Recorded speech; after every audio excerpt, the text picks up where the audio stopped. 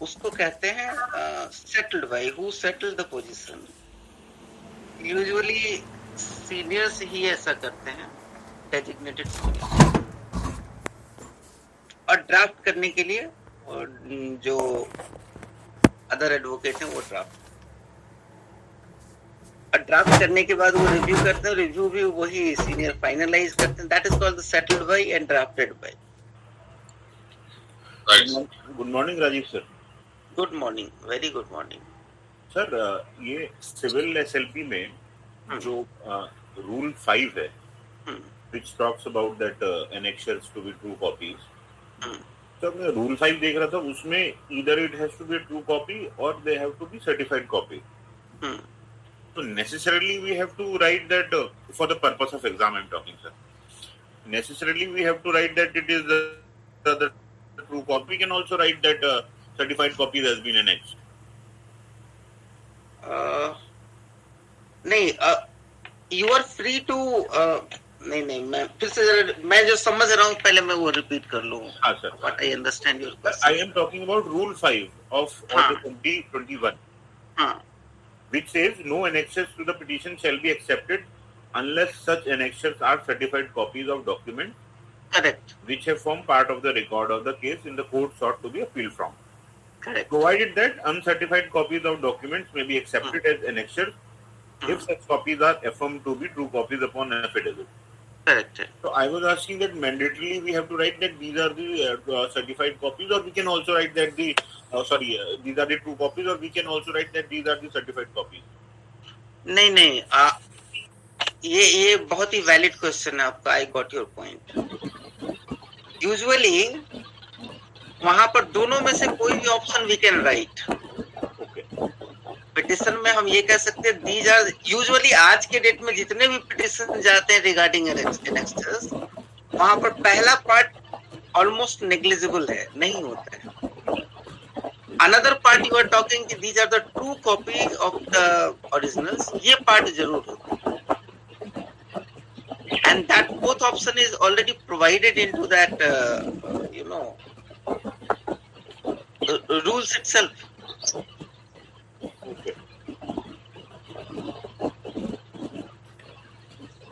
Rajiv Pratap ji का तुषार जैन जी का। Mic please mute करना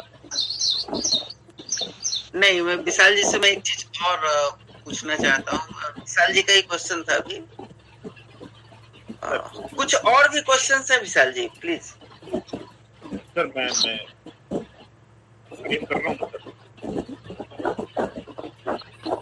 राजीव प्रताप जी आपका जो माइक है ना बैकग्राउंड आ रहा है। थोड़ा सा उसको ये कर दीजिए।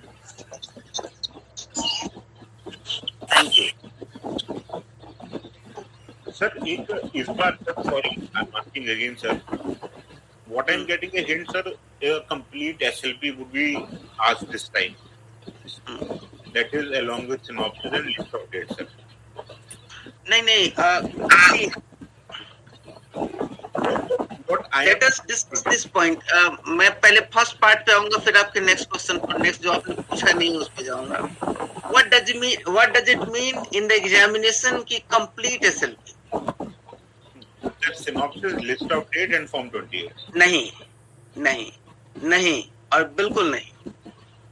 Once they are asking about SLP they are not using the word complete. इसका दो मतलब है। मैं क्लियरली स्पेसिफाई स्पेसिफाई करना हूँ S L P asking in the examination it means they are asking form twenty eight only unless until specifically instructed that I need the synopsis, I need the certificate and all. be careful and be very clear about this point. Once they are asking SLP, even if you will see the rule, Supreme Court rules, Order 21, which is the very reference for the SLP, if you will go into the rules, just uh, just a minute, I'm just uh, pointing out.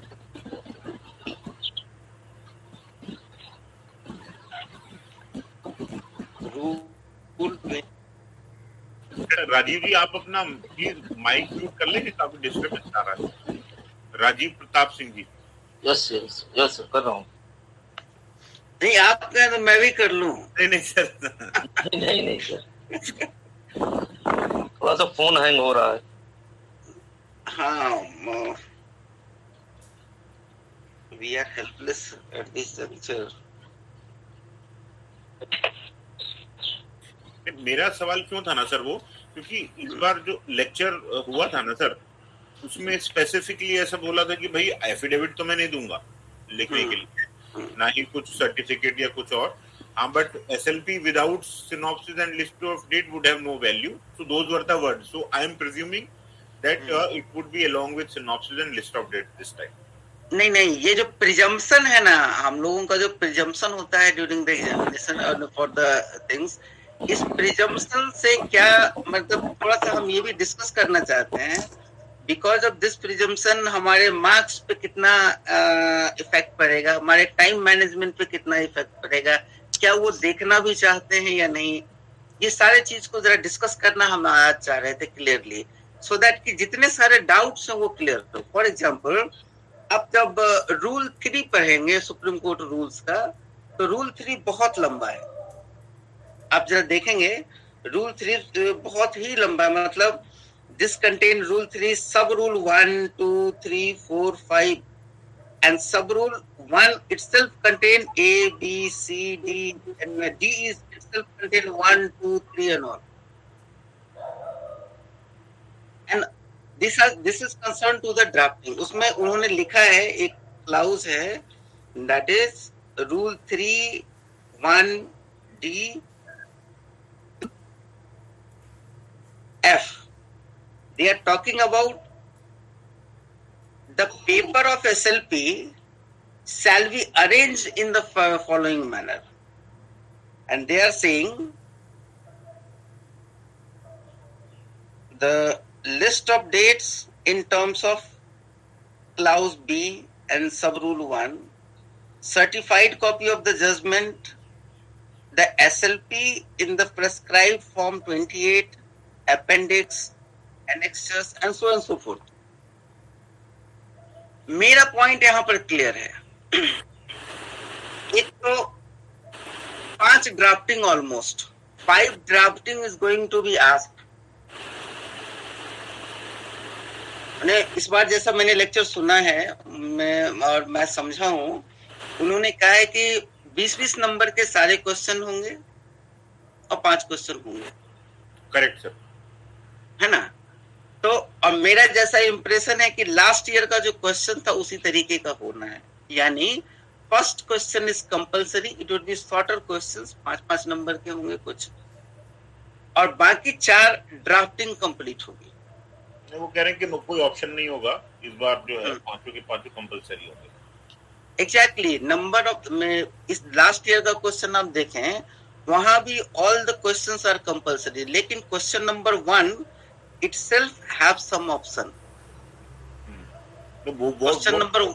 But sir, this time what we can gather is he was very clear in what he said. That that is very clear. Maybe may not be. I am not going on that point.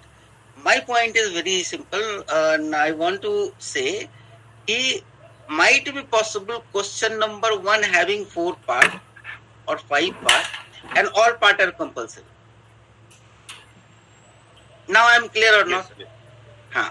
And other part, and the question number two, three, four would be the entire drafting of confined to on one particular point.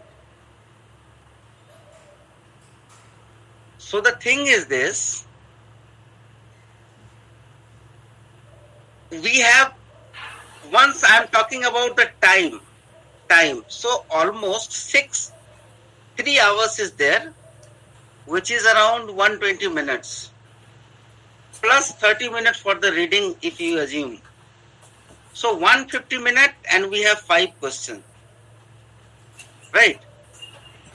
Right, sir. So for the purpose of drafting and reading question, question is not only the two-liner question.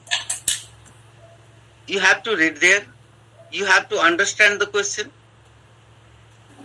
So almost half an hour, 30 to 30 minutes if you will expend for writing of one question. For the five questions you will get two and a half hours. And almost one hour is remaining for the reading purpose, selective purpose and whatever, whatever, whatever. So at least 30 minutes writing time for each and every questions you must have in hand. You can say it may be minimum limit, you can say it may be maximum limit. For the purpose of minimum and maximum limit, what we can allot, that is the 10 minutes plus and minus. If you are writing in a start, then uh, you will expend plus 10 minute uh, extra to a question. And at the end you will reduce to minus 10 minutes for the questions. jaldi jaldi pen chalta hai usko pura kar so almost after reading the questions only and for the purpose of the reading questions you are 10 minutes around 10 minutes is allowed to read the question properly and start writing and in within 30 minutes you have to finish it up. Am i right or wrong? Correct sir. It's a reasonable time. Once this time is being disturbed in any manner, then it would be resulted into the incomplete within the prescribed time or allotted time.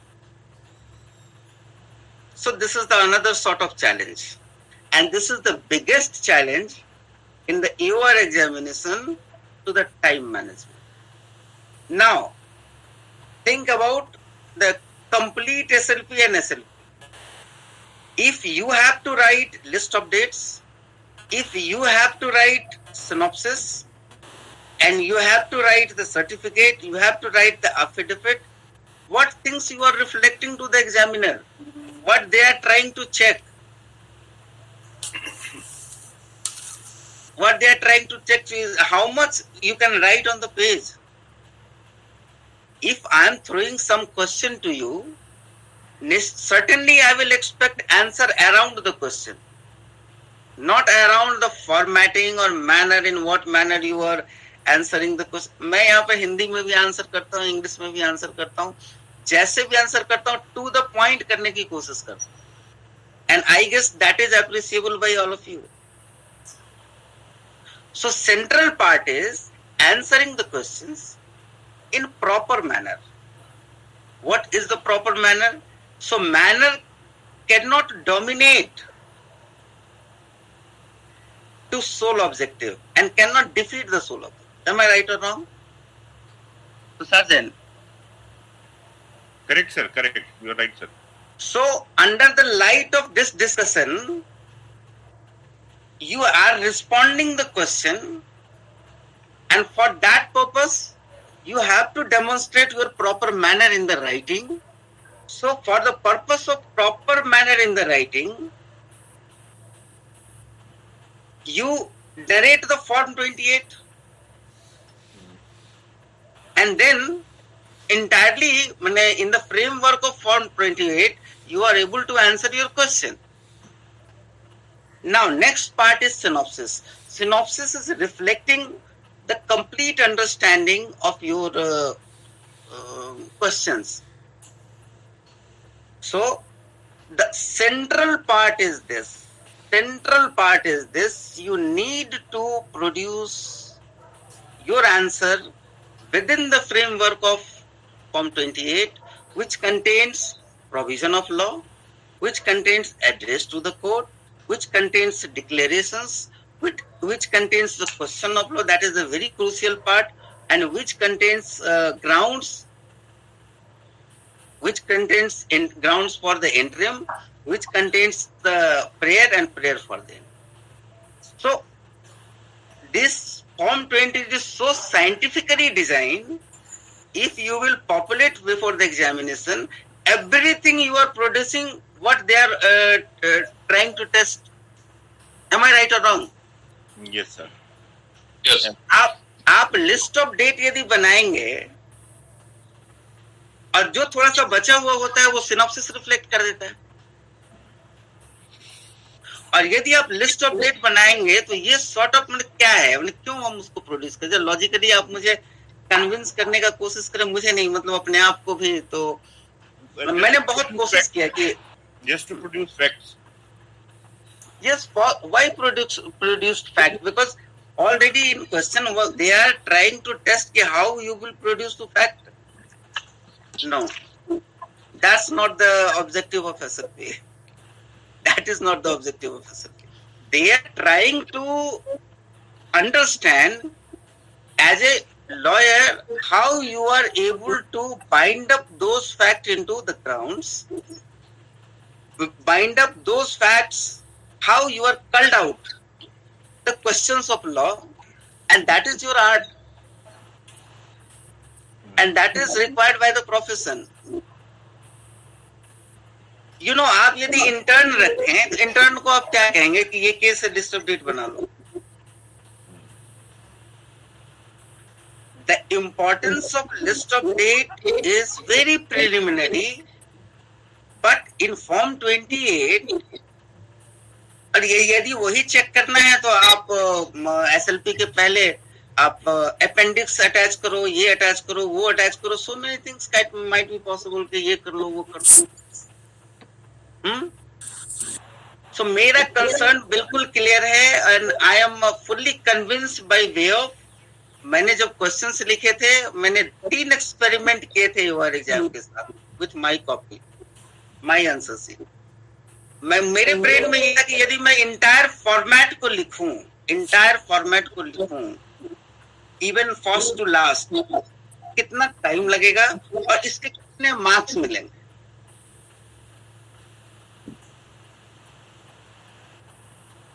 मैंने क्या किया question ऐसे लिखे, जिस question को मैंने पढ़ा ही नहीं था।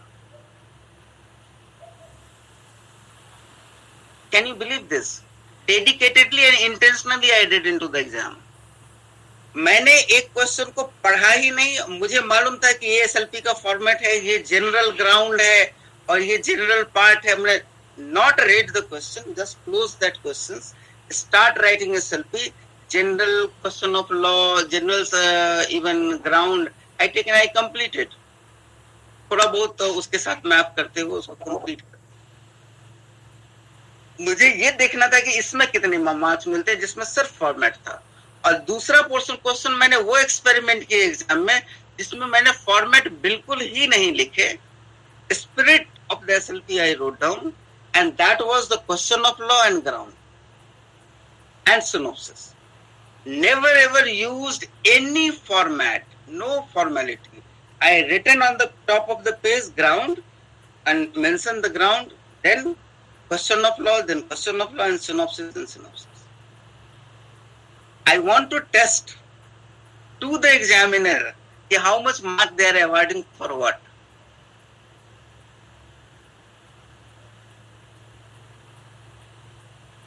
Tushar ji आपको क्या लगता है कि किस पे इतना मार्क्स अवार्ड हुआ?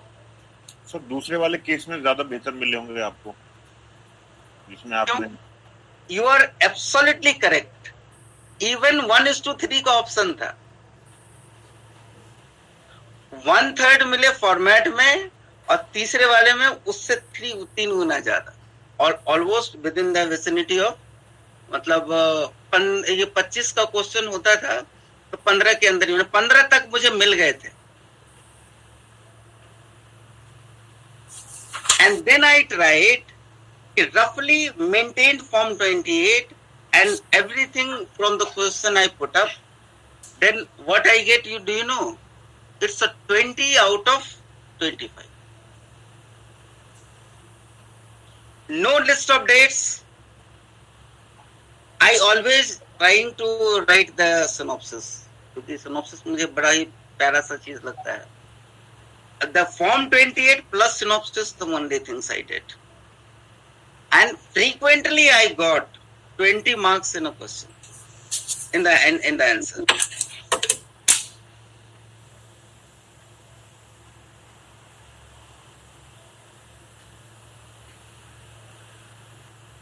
so whether he asked or not you have to write synopsis brief synopsis so, so did you convince that कि क्या कैसे लिखना चाहिए? कि इज़ देयर एनी डाउट कि क्या लिखना चाहिए क्या नहीं लिखना चाहिए? यू you नो know, मतलब वो चाहते हैं कि क्वेश्चन को आप पढ़ करके एज ए लॉयर कितना समझता है वो उसको रिफ्लेक्ट कर पाता है या? तो लॉयर का जो स्कोप है वो स्कोप रिफ्लेक्ट करता है यानी एक पर्टिकुलर केस के जो माइनोट्स हैं जो फैक्ट आप जिसको कहते हैं it is culminated into the ground of law and synopsis only in the SLP. Test SLP किस प्रोविज़न में आता है? इसके लिए तो आपको वो प्रॉपरली फॉर्मेट वहाँ पर फॉर्म 28 का दिया हुआ जो ये रूल है, ये रेगुलेशन है क्रिमिनल में अलग होगा सिविल में अलग होगा। So almost all the things is being tested into that मैं ये कह रहा था क्वेश्चन नंबर वन में ये तीन चार पोर्शन होगा। तीन चार पोर्शन में एक पोर्शन वो भी हो सकता है कि आप एफिडेविट कैसे ड्राफ्ट करते हैं, एक केस दे करके। दूसरा चीज़ ये टेस्ट कर लिया जाए कि आप सर्टिफिकेट प्रॉपर लिखते हैं या नहीं। तीसरे भी एक छोटा केस दे करके डिस्ट्रीब्यूट वहाँ बनवा दिया जाए। तो तीनों चीज़ कलेक्ट एक जगह टेस्ट कर लिया जाएगा और बाकी जगह पर आपका पूरा स्किल चेक कर लिया जाएगा। एम आई राइट और रॉन्ग एक स्पेसिफिक पोर्शन को चेक करने के लिए, जैसे लास्ट टाइम के क्वेश्चन में ये लिखा हुआ था, छोटे क्वेश्चंस को मैं देखूँ तो जो एओआर का सर्टिफिकेट आप ड्राफ्ट कीजिए क्यूरेटिव पिटिशन और क्यूरेटिव पिटिशन में under order 48 rule two and sub rule three उसमें थ्री और सी है, उसमें क्लियरली लिखा हुआ है कि सिर्फ़ एक ही चीज़ एओआर को रिफ्लेक्ट करना है कि ये first curative petition that is the only effect आपको वहाँ पर सर्टिफिकेट देना है। अब मैं जरा रीड आउट कर दू 48 तो कन्वीनियंस होगा, अभी है मेरे पास supreme court rules supreme court rules order 48 rule two three ये कहता है A curative petition shall be accompanied by a certificate of the advocate on record to the effect that it is the first curative petition in the impugnment. फिर से मैं repeat कर रहा हूं A curative petition shall be accompanied by a certificate. So this is talking about certificate or certificate of advocate on record. To the effect that? What is the effect? That? That के बाद का content में सिर्फ़ आप उसको read out करना चाहते it is first curative petition in the improvement अब देखिए, बहुत लोगों को मैंने लिखते हुए देखा एग्जामिनेशन की कॉपी में आरटीआई में, कि it is the first curative petition that's it does it complete no और यदि लास्ट का पार्ट लिखे इन द इम्पुंग मैटर और पहला पार्ट छोड़ दें। या फिर हम ये करें कि ग्राउंड टू वन ले ले टू वन ले ले, जहाँ ग्राउंड की बात करता है करता है। In the curative petition shall aver aver averment वहाँ होना चाहिए। Specifically that the grounds mention therein had been taken in the review petition and that it was dismissed by circulation वो ग्राउंड है भाई। कई बार सर्टिफिकेट में लोग ग्राउंड को भी मेंशन कर देते हैं। Be precisely and be clear यदि certificate of advocate on record के लिए चार नंबर अलॉट किया जा रहा है, और हमारे लिए छह मिनट में लिखना है can I write this certificate उसके बाद अंडर ब्रैकेट हम लिखना चाहें, थोड़ा और इंफॉर्मेशन प्रोवाइड करा देना चाहें तो हम लिखते हैं under rule sorry uh, under order 48 rule 2 3 certificate by AOR under bracket लिख दीजिए और उसके बाद लिखिए it is certified that it is the first petition in the impugnment. Does it not sufficient answer to the question?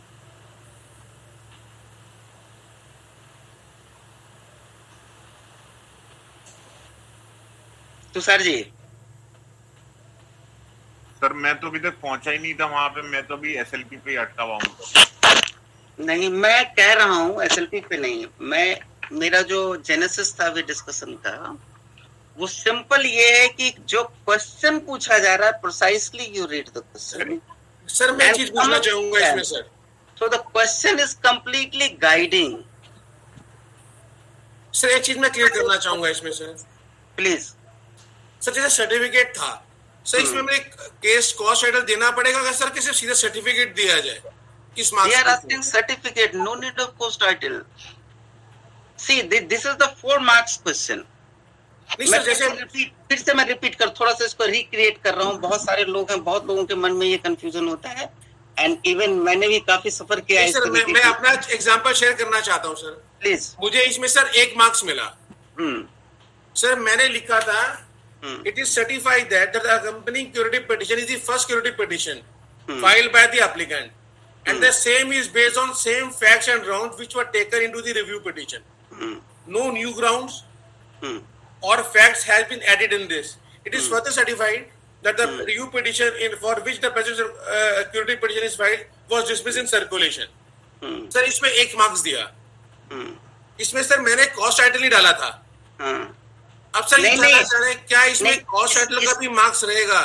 अब दिनेश जी अब मैं आपसे जरा एक सवाल पूछूँ।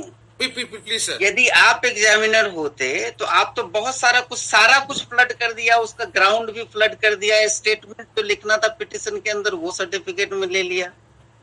नहीं सर मैं वही जानना चाहूँ सिर्फ़ सिर्फ़ दो लाइन का सर्टिफिकेट लिखा एग्जैक्टली व्हाट माने what they want to know कि व्हाट दे आर आस्किंग यदि वो पूछ रहे हैं कि एक चीज़ मुझे ये बताइए कि सर्टिफिकेट क्या होना चाहिए, और आपने सर्टिफिकेट बताया और सर्टिफिकेट के बाद ये भी बताया कि भैया ये देख लो, ये ग्राउंड है, ये देख लो, ये भी है, ये भी स्टेटमेंट है, ये सारा कुछ आपने पुश कर दिया। आप, आपके सामने यदि ऐसा कोई जवाब लेकर के आए तो आपको कैसा आपके ब्रेन में इंप्रेशन बनेगा उसके लिए? कि he probably knows that part लेकिन प्रिसाइसली डजंट नो तो वही सर मैं जैसे जैसे हमने इसमें कॉस्ट टाइटल देने का अच्छा, एक मिनट आप ये बताइए एक मिनट ये बताइए यदि काउंस टाइटल दे दिया जाता तो आपको क्या चार मिल जाता? क्यों? सर मैं मैं यही जानना चाह रहा हूँ कि सर कैसा होता कि मैं कॉस्ट टाइटल देता? क्या हम्म। उसका भी एक या दो मार्क्स था? मैंने लिखा होता in the court of supreme court साथ में curative petition in review petition in SLP ऐसा लिखने से अगर सर और मार्क्स इनहेंस हो सकता है। Should be write cost title also नहीं, क्यों? आप जरा लॉजिक समझिए, मलिक साहब। लॉजिक में मैं ये कहने की कोशिश कर रहा हूँ कि एक इंप्रेशन आप ये दे रहे हैं कि you are absolutely confuse you are unable to distinction make a distinction between the statement certificate and other part or once someone is providing answer which is precisely on dot. See एक चीज़ imagine कीजिए एक चीज़ imagine कीजिए आप। मान लीजिए कि आप, आपने तीरंदाजी देखा होगा है ना? ये एग्ज़ाम्पल मैं दे रहा हूँ इस एग्ज़ाम्पल को मैं बार बार रिपीट करूँगा। तीरंदाजी होता है या आर्चरी होता है तो उसमें एक सर्कल्स कॉन्सेंट्रिक सर्कल्स बना होता है बोर्ड जैसा। और उसमें एक सेंटर पे तीरंदाज या शूट करने वाला वहाँ पे शूट करता है। बिल्कुल सेंटर पे शूट करने के बाद मैक्सिमम मार्क्स जैसे जैसे वो डिस्टेंस दूर करेगा, यानी first circle second circle third circle में जाएगा तो उसको मार्क्स क्या होता है कि थोड़ा कम मिलना शुरू होता है, क्योंकि they are away from the target अब कई, अब एक सिचुएशन इमेजिन कीजिए। मान लीजिए कि एक कंटेस्टेंट गया वहाँ कंटेस्ट करने के लिए और उसको एक बोर्ड दिया गया कि भैया, इस बोर्ड पे आपको टारगेट है और यहाँ सर्किल है और इस तरह से शूट करना है। उसने क्या किया कि एक नया बोर्ड उसके पैरेलल खड़ा कर दिया और पूरी फायरिंग वहाँ शुरू कर दी। अब इसको एग्ज़ाम से मैं कनेक्ट करना चाहता आपका जो केस आपने जो प्रोवाइड करा है क्यूरेटिव में, मान लीजिए वो बोर्ड है, बोला गया कि एक तीर शूट करो सेंटर पे। आपने दस मैंने यू नो स्टैंड गन लेकर के या एक ऐसा लिस्ट शुरू किया जिसमें कि पाँच चीज़ शूट कर दिया। और पाँचों अलग अलग जगहों पे लगा कुछ उसमें सेंटर पे भी लगा। अब बताइए कितना मार्क्स मिलना है? Are you able to connect Malik साहब नहीं बिल्कुल सर मैं वो तो बिल्कुल मैं आपकी बात समझ गया। सर मेरा कहने का ये क्वेश्चन था कि for example we get four marks five marks questions hmm. should we write course title or even cost title you will देखिए cost title it's not mandatory not mandatory मैं मैं उसको प्रेफर नहीं करूँगा। मेरा कंसर्न वेरी क्लियर है।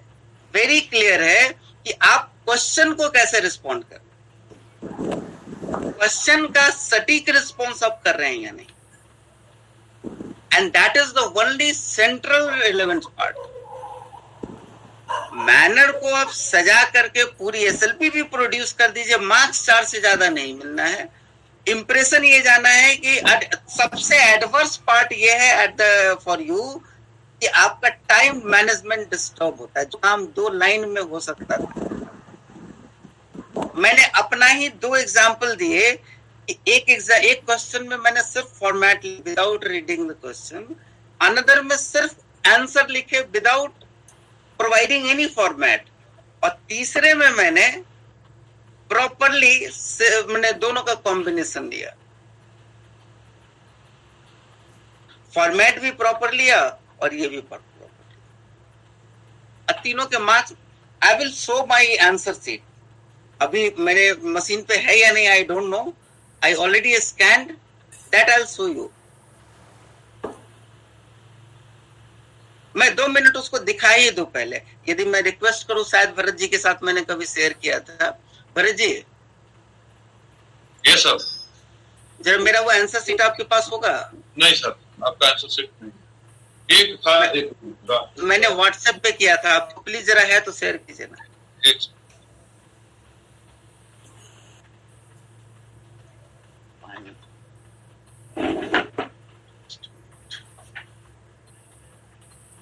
एक minute मुझे दीजिए।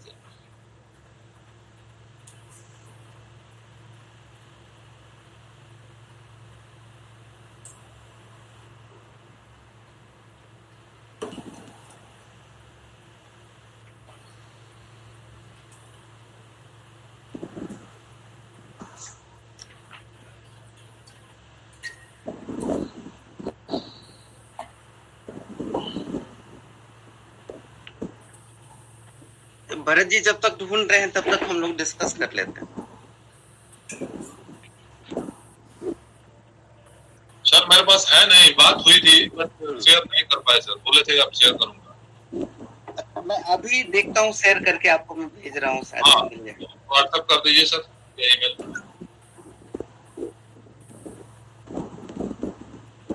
हाँ मतलब मैं ये कह रहा था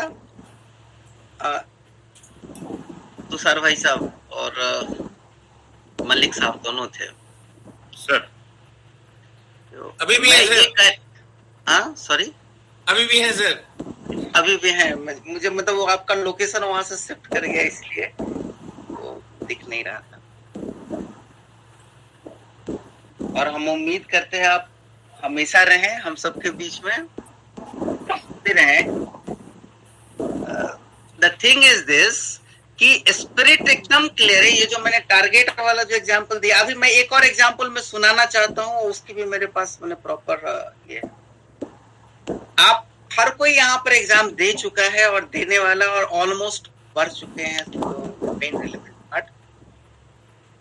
reason to believe in standard of proof section 38 of the advocate act का हिस्सा है। रीजन टू बिलीव जब जब कंप्लेन फ़ाइल होता है अगेंस्ट एन एडवोकेट तो बार काउंसिल उसको क्या करती है? स्टेट बार काउंसिल चेक करती है कि ये रेगुलस केस है या नहीं। उसके बाद वो केस अपने डिसिप्लिनरी कमेटी को पास कर देती है।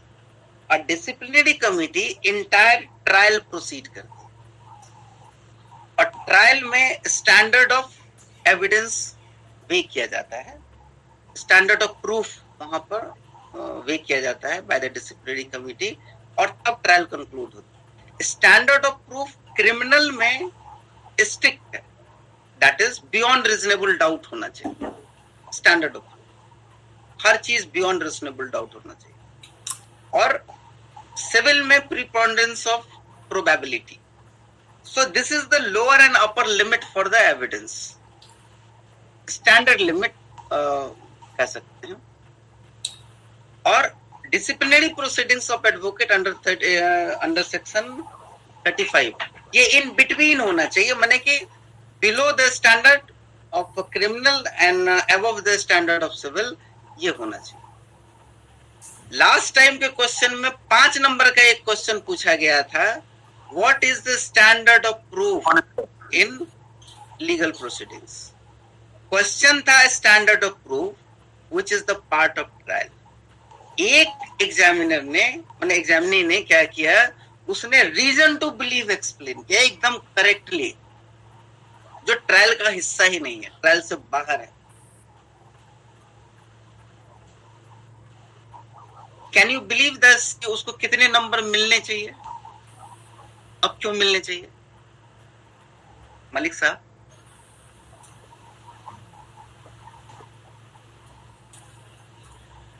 कैन एनी वन एक्सप्लेन कहीं ये वो सिचुएशन तो नहीं है जो मैंने एग्जामिनर ने एक बोर्ड दिया कि आपको यहाँ फायरिंग करनी है। उसने अपने कन्वीनियंस के हिसाब से दूसरा बोर्ड क्रिएट कर लिया और वहाँ पे वो फायर शुरू कर दिया है, बिल्कुल करेक्टली ये ऐसा सिचुएशन है या नहीं? मलिक साहब प्लीज़ रिस्पॉन्ड बिल्कुल ठीक कह रहे हैं आप सर सो पॉइंट में मेड आउट जो करना चाहता हूँ, वो एक चीज़ मेड आउट करना चाहता हूँ, बहुत क्लियरली आप लोग इस चीज़ से कन्विंस होना पड़ेगा मैंडेटरली कि ये एग्जामिनेशन योर नॉलेज सेंट्रिक नहीं है। एग्जामिनेशन जो है, वो क्वेश्चन सेंट्रिक है। एग्जामिनर क्या पूछता है इसकी एग्जैक्ट अंडरस्टैंडिंग आपको ऑप्टिमाइजेशन के तरफ़ ले जाता है, यानी optimum marks within minimum time एक आदमी ने एसएलपी के बारे में पूरा पढ़ा। एसएलपी ये होता है एसएलपी वो होता है एसएलपी वो होता है एसएलपी वो होता है। नहीं इवन शरद वृद्धि चंद को पूरा पढ़ा, जो कि शरद वृद्धि चंद का पहला हिस्सा बहुत नाइसली ये एक्सप्लेन करता है कि क्यों क्यों नहीं ये ये कंकरेंट फाइंडिंग ऑफ़ फैक्ट में क्रिमिनल वाले एविडेंस सर्कमटेंशियल एविडेंस में, क्यों एसएलपी इंटरटेन करना चाहिए और कब नहीं करेगा? बहुत बहुत ब्यूटीफुली एक्सप्लेन किया दूसरे हिस्से में फाइव गोल्डन प्रिंसिपल भी है। तीसरे हिस्से में एविडेंस एक्ट का एक्सप्लेनेशन भी है। ये तीन तीन चीज़ एग्जामिनर यदि पूछ रहा है कि मुझे सिर्फ़ फाइव गोल्डन प्रिंसिपल्स बता दो। और लिखने वाला लिख रहे हैं पूरा का पूरा, जो उनको आ रहा है पूरा मतलब वोमिट करके आ रहे हैं। या फिर यदि एग्जामिनर क्या कर सकता है, जैसे एक क्वेश्चन है, उस क्वेश्चन के कई फेसेट्स होते हैं। उसमें से कोई भी एक पूछ सकता है ना। और वो एक्सपेक्ट करेगा कि उसी के अकॉर्डिंगली आप आंसर करें। ये इंप्रेशन नहीं जाना चाहिए कि आप जो जानते हो सब उरेले जा रहे हो। इसका मतलब ये है कि you are not clear about the question और even about the even question के बारे में भी क्लियर हो तो फैक्ट के बारे में क्लियर नहीं हो. आई मीन uh, समझो आप मैं क्या कहना चाह मेरा क्लियर कंसर्न है कि जितना प्रोसाइज क्वेश्चन है उसी प्रोसाइसली आपको हिट करना पड़ेगा आंसर देना पड़ेगा। लेकिन एक और इंपॉर्टेंट पार्ट है। आप जो आंसर दे रहे हैं वो आंसर आपके ब्रेन से निकला हुआ है या फिर किसी अथॉरिटी से सपोर्ट किया हुआ फॉर एग्ज़ाम्पल कि यदि आप एक क्वेश्चन लिखते हैं सब्सटैंशियल क्वेश्चन ऑफ़ लॉ क्या है? आप एक्सप्लेन कर और उसका, उसके जगह पर रेफर भी करते हैं कि substantial question of law article 132 and 133 दोनों में लिखा हुआ reference to certain place to authority human human either case law या authentic document either case law या स्टैट्यूट्स या कॉन्स्टिट्यूशन कहीं से भी, या रूल्स और रेगुलेशन कहीं से भी आप रेफर कर वो रेफरेंस आपके आंसर को अथॉरिटी देता है और एकदम से माने यू है ना, कहते हैं ना कि these are the complete authority yes he knows that क्या यहाँ से ये फ्लो कर रहा है। और तीसरा पार्ट ये है कि आप एक एग्ज़ाम्पल एक एग्ज़ाम्पल एटलीस्ट एक एग्ज़ाम्पल देते हैं कि चलो यहाँ इस केस में ऐसा हुआ this is things you know मतलब लॉजिकल फ्लो देखिए कि आप अंडरस्टैंड करते हैं that's you are explaining you know from the source की सोर्स यहाँ से फ्लो हो रहा है and you are knowing the example so you are complete understanding having the complete understanding regarding the certain points so point is this और ये तीन ingredient तीन इनग्रेडियंट मैंने बात किया, एक your understanding in one paragraph at least may be late ज़्यादा भी हो सकता है। Another the reference of somewhere कहीं से वो सपोर्टेड रिफरेंस कर दीजिए, और तीसरा एक एग्ज़ाम्पल दे दीजिए। ये तीन चीज़ रहने के बाद you can't believe me 90% marks मिलते हैं। 90% at least in your exam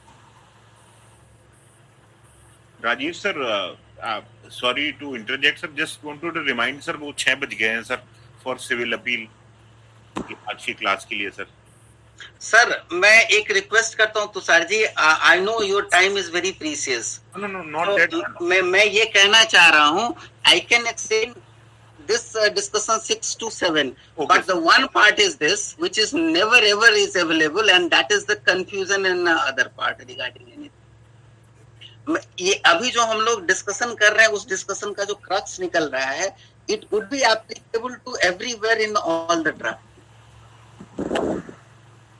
ठीक है? बट कंफ्यूजन कैरी ओवर करना हम सब के लिए डेंजरस है। So if someone has any confusion then please remove it regarding the format की ये लिखना है, वो लिखना है, वो लिखना है, नहीं। एवरी टाइम एग्जामिनर सेज कि आज जो क्वेश्चन है ना, बिल्कुल प्रिसाइसली है, मैंने मैंने सुना है इनको, मैंने लोगों के समय में थी उन्होंने क्लियरली लेक्चर में कहा कि ये क्वेश्चन इतना पूछेगा क्वेश्चन का जो आंसर है ना, बिल्कुल अदर पार्ट भी किया हुआ है। मैं पाँच मिनट और मैं कंक्लूड करना चाहता हूँ, फिर मैं वापस चलूँगा अपने ड्राफ्टिंग की तरफ़। So finally what I want to point out कि आप अननेसेसरी चीज़ प्रोवाइड करके, जो नहीं पूछा गया उसको भी प्रोवाइड करके दो कॉम्प्लेक्सिटी क्रिएट करते हैं। एक अपने लिए भी, कि टाइम मैनेजमेंट पे बहुत ज़्यादा कुछ लिखना पड़ेगा, और दूसरा एग्जामिनर के लिए भी, कि वो वो इम्प्रेशन ये जाता है कि यू आर कंफ्यूज या सोच करके देखिए लॉजिकली ये नहीं कि वो ढूंढ करके चलो, ये निकाल लिया और ये लिख लिया।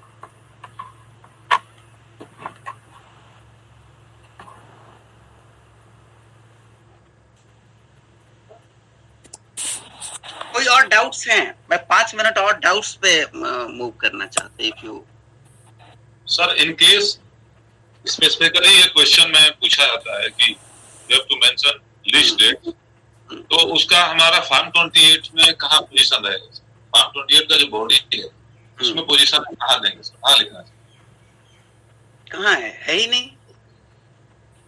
पूछा गया क्वेश्चन में mention the list dates form 28 में लिस्ट ऑफ़ डेट कहाँ है? नहीं है तो वही मैं पूछ रहा हूँ अगर पूछा गया है तो कहाँ इनकॉर्पोरेट करना चाहिए?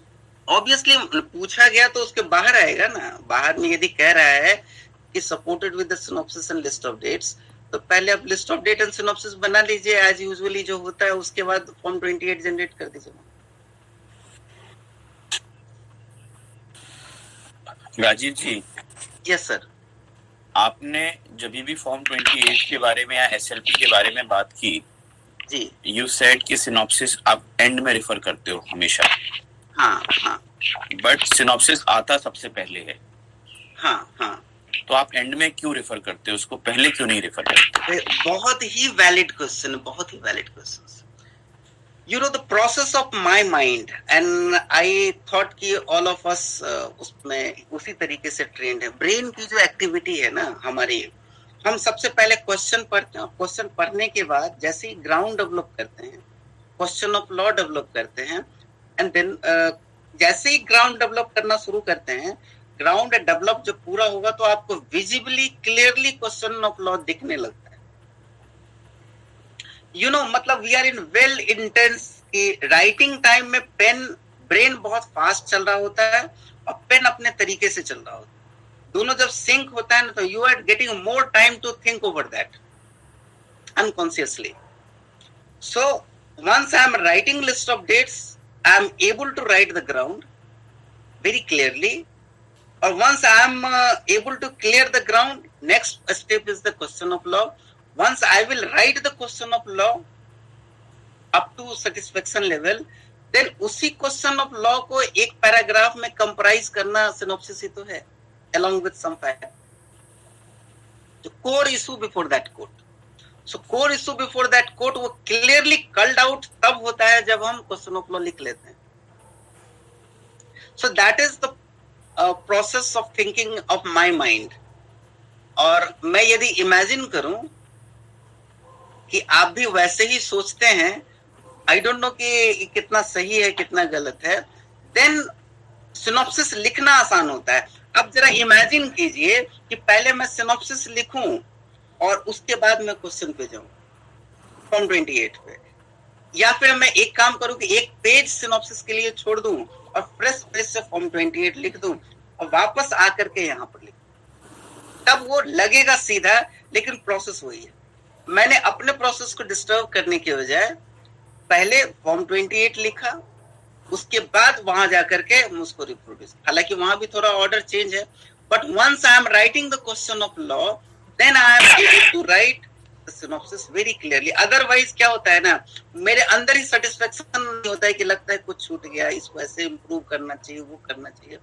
सो so, ये एक फ्लो में चला जाता है एंड दैट इज़ मैंने एक्सप्लेन किया। पता नहीं आप कितना कन्विंस है सर नहीं ठीक है सर स्टैटिस्टिक्स आपने आंसर किया। बट ये प्रॉपरली uh, मैंने मार्क्स पे इफ़ेक्ट कैसे पड़ेगा? यदि कोई भी एग्जामिनर इस ऑर्डर को कंसीडर करते हुए मार्क्स में एडिशन या डिडक्शन करता हो। वन मार्क्स वेरिएशन में बी अलाउड तो मुझे लगता है कि this is not fair I am sorry मुझे ये कमेंट नहीं करना चाहिए।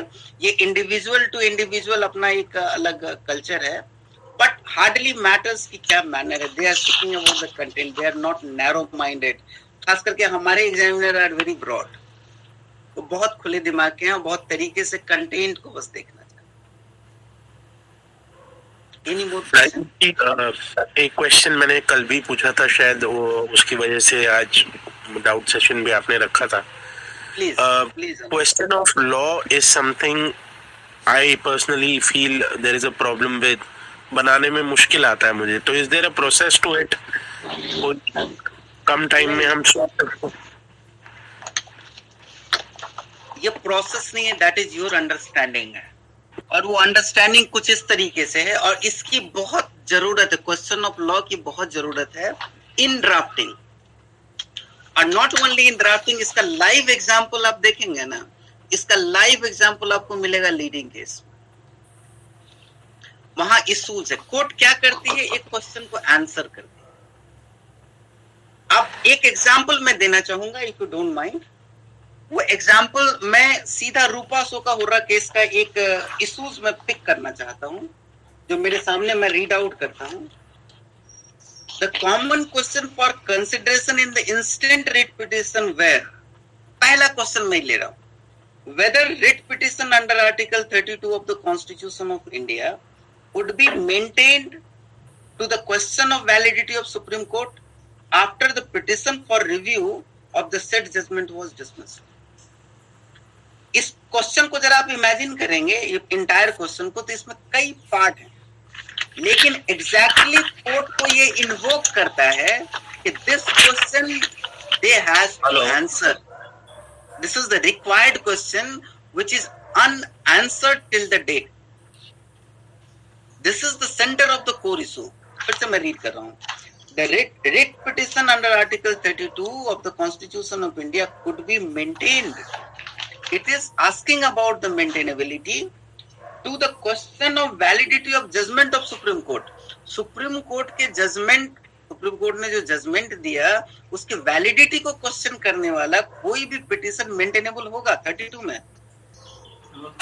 स्पेशली देन जब वो सारे रेमेडी को एडजस्ट कर लेता है इवन रिव्यू तक भी हो सकता है, कि उस समय क्यूरेटिव था नहीं। All all available remedy including 32 को आप एग्जॉस्ट uh, कर लीजिए। उसके बाद फिर वापस आप 32 में आप आ जाइए।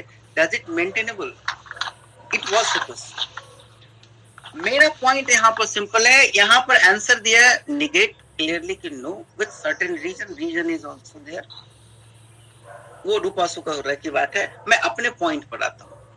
हमारा पॉइंट वेरी क्लियर है कि जो केस हम ड्राफ्ट कर रहे हैं उस केस के स्टेप बाय स्टेप में करें तो ड्राफ्ट में क्लाइंट आपके पास होता है। Now I am purely entering into the drafting client आपको आकर के कहता है कि मुझे ये गड़बड़ हुआ और आपको लगता है कि क्लाइंट को ये रिलीफ मिलना चाहिए relief means prayer prayer means main prayer as well as interim prayer आप जरा लॉजिकली सोचिए, आपको सब कुछ क्लियर क्लियर सामने आएगा।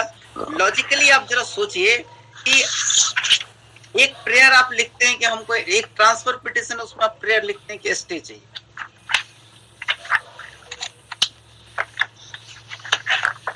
कोई भी रिजनेबल आदमी, यदि मैं आपको कहूँ कि, सर, आप जज हैं और मुझे ये ये प्रेयर चाहिए, आप कहिएगा ना कि क्यों?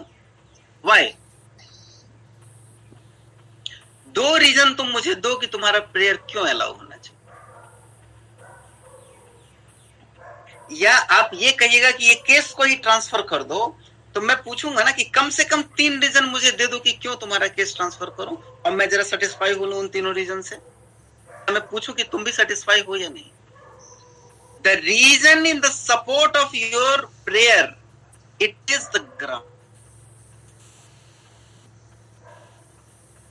it is ground and जो मैं अभी डिस्कस कर रहा हूँ this is not only for S L P this is for entire drafting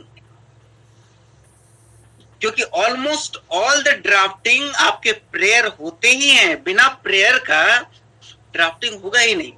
even application और प्रेयर के सपोर्ट में आप ग्राउंड तो देते ही देते हैं। सो इन जनरल सेंस में आप जरा देखिए कहीं भी ये फिट होने लायक है और ये आपको क्वेश्चन से वहाँ पिक होता है। आपके सर्टेन फैक्ट्स में जो clear fact of particular case है, उस फैक्ट में सर्टेन रीजन वहाँ से कल्ड आउट करके आप सपोर्ट करेंगे। So that is the reason and that reason must be lawfully आप ये कहेंगे ना कि बिकॉज़ इस जजमेंट में ये फैसला हुआ था। आप ये भी कहेंगे कि बिकॉज़ ये लॉ ये कहता है। आप ये कहेंगे कि आपका सरकमटांसेस ये कहता है। So these are the reason you are supporting for your prayer and that is the connection between prayer and round now यदि आप कहते हैं, मान लीजिए कि हम दो दोस्त मिलकर के कॉरिडोर में बात कर रहे हैं कि भैया, एक केस था, यहाँ से यहाँ तक ट्रांसफ़र था। ये था, या क्लाइंट आपको आकर के सुनाता है पहला क्वेश्चन ये होता है कि क्या ये केस ट्रांसफरेबल है या नहीं? क्यों ट्रांसफ़र कर देगा कोर्ट? पूरा कहानी आप सुनिए ओवरऑल ग्राउंड को छोड़ दीजिए प्रेयर को छोड़ दीजिए। आप ये सोचिए कि ये कोर्ट क्यों ट्रांसफ़र करे? या फिर आप ये पूछिएगा ना क्लाइंट से कि वहाँ क्या गलत है?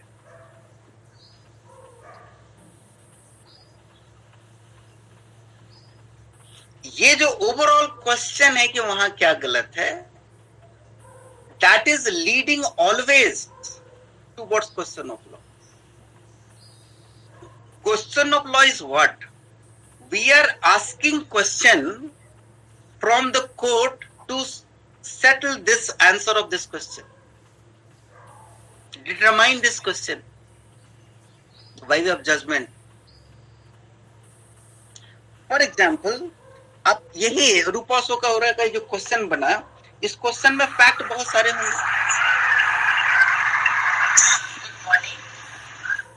सिंह साहब, थोड़ा सा माइक अनम्यूट कर ले। म्यूट कर ले प्लीज़ हाँ। सो क्वेश्चन यहाँ, ये जो अशोका रूपा रहा का फैक्ट क्या था, हम लोग कोई नहीं जानते। नहीं स्पेशली मैं नहीं जानता। I am sorry to say that ये गलत बोला मैंने। कोई नहीं जानता, क्योंकि everyone maybe knows but I doesn't know the fact exactly. But question itself reflects कि कोर्ट को क्या डिटरमाइन करना है। लॉफुली क्योंकि यदि ये डिटरमाइन होता है तो it would be turn into the precedent so किसी भी केस में क्या गलत हुआ है? फॉर एग्ज़ाम्पल जो, जैसे मान लीजिए कि हम हाई कोर्ट के ऑर्डर को चैलेंज कर रहे हैं तो हाई कोर्ट को क्या गलत किया है? जैसे एक एग्ज़ाम्पल है, बिना रीजन का एक ऑर्डर पास कर दिया है। बिना रीजन का ऑर्डर पास कर अनरीजन ऑर्डर और वो भी क्या है? कन्विक्शन का है। मतलब कन्विक्ट लोगों को छोड़ना हो तो अलग बात है। जो कन्विक्ट एक्यूट था, उसको कन्विक्ट कर दिया। अब बिना रीजन का, यानी रिवर्सल है, और वो भी विदाउट एनी रीजन और उसको पनिश कर सपोज़ नाउ एक क्वेश्चन तो बहुत वैलिड और वो क्वेश्चन ये है कि whether high court lawfully render the judgment without uh, reasoning? ये तो सवाल है कि रीजनिंग होनी चाहिए। और reasoning principle of natural justice का सेंट्रल पार्ट क्या हम ये सवाल as a lawyer supreme court के जज से ये नहीं कह सकते कि ये ऐसा हो गया इसमें ये ये गलत हुआ है। You need to settle this question so that कि आगे वो लॉ बने और पूरे देश में जाए और हर हाई कोर्ट उसको ऑबी करे। सो so, जब आप ultimately conclusion is this once we are listening the case going deep into the case somewhere we are realizing what wrong has been done in this case and that wrong is headed towards question of law for the settlement of that question.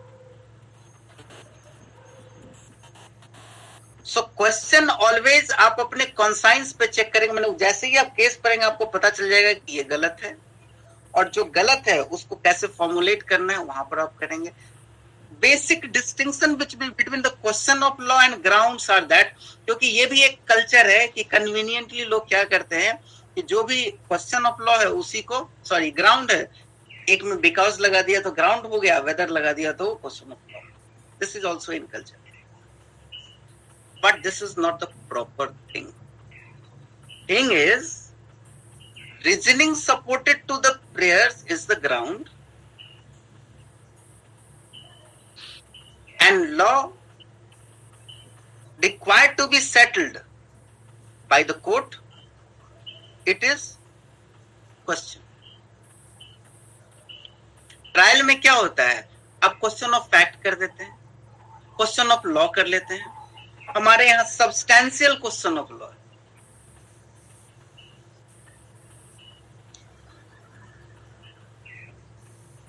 यानी question of law भी कहते हैं तो question of law में जैसा हमने कल discuss किया था on the basis of settle principle of fact जो फैक्ट यहाँ पे प्रूव्ड है, उस पर कौन सा लॉ अप्लाई होना चाहिए? यही तो क्वेश्चन ऑफ़ लॉ होता है। अप्लाई करके डिटरमाइन करने का डोमेन तो कोर्ट का है ना, वो हमारा डोमेन तो है नहीं। We we can just point out before that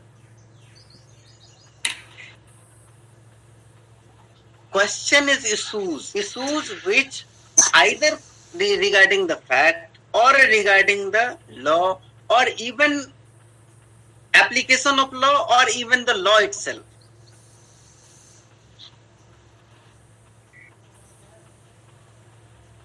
वो आपको मैंने दिखेगा, जैसे आप क्वेश्चन पढ़ेंगे ना यू आर एबल टू लगता है ना कि हमारे क्लाइंट के साथ क्या गलत हुआ। वो तो हर लॉयर अपने आप में मैंने ये फाइंड आउट कर लेते हैं। That is leading to the question and मान लीजिए दो या तीन क्वेश्चन आ गया, वो दो तीनों क्वेश्चन को समराइज कर दीजिए एक पैराग्राफ में और कोर्ट को कहिए कि देखिए भाई साहब, ये बड़ा क्रूसियल केस है। इस केस में तीन तीन ये भी इशू है, ये भी इशू है, ये भी इशू है। यहाँ जुरिडिक्शन का इशूज है, यहाँ मेंटेनेबिलिटी का इशूज है। मतलब लीगल टर्म में आप क्वेश्चन फ्रेम करते हैं। लॉफुली आप टॉक करते हैं टू एक्सपर्ट्स के साथ।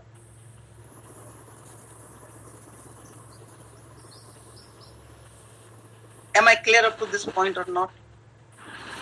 जी सर काफ़ी काफ़ी समझ आ रहा है। सो so, इसलिए भी मैं बोल रहा हूँ कि जितने भी एपलेट साइड की ड्राफ्टिंग में आप जाएँगे एपलेट साइड की ड्राफ्टिंग यानी अपील सारी ड्राफ्टिंग में आपको ग्राउंड प्रेयर एंड क्वेश्चन देने ही हैं। Specially question of law so without having clarity among all these part prayer तो रिलीफ इज़ द प्रेयर ना रिलीफ तो क्लाइंट को चाहिए ना? आप रिलीफ कोर्ट से तो मांगेंगे, कोई भी एप्लीकेशन मांग रहे हैं, वहाँ पर बैठ करके गॉसिप करने के लिए तो नहीं मांग रहे हैं। अल्टीमेट ऑब्जेक्टिव है ना रिलीफ तो रिलीफ के लिए आपने रीजन सपोर्ट किया। Whatever is the possible reason law factually आप वहाँ पर सपोर्ट करते हैं कोर्ट को कन्विंस करने के लिए। फॉर पर्पसली क्योंकि मेन रिलीफ का पर्पस अलग हो जाता है। मेन प्रेयर का और एंट्रिम का पर्पस अलग होता है। इसलिए स्पेसिफिकली आपको डेडिकेट करते हैं।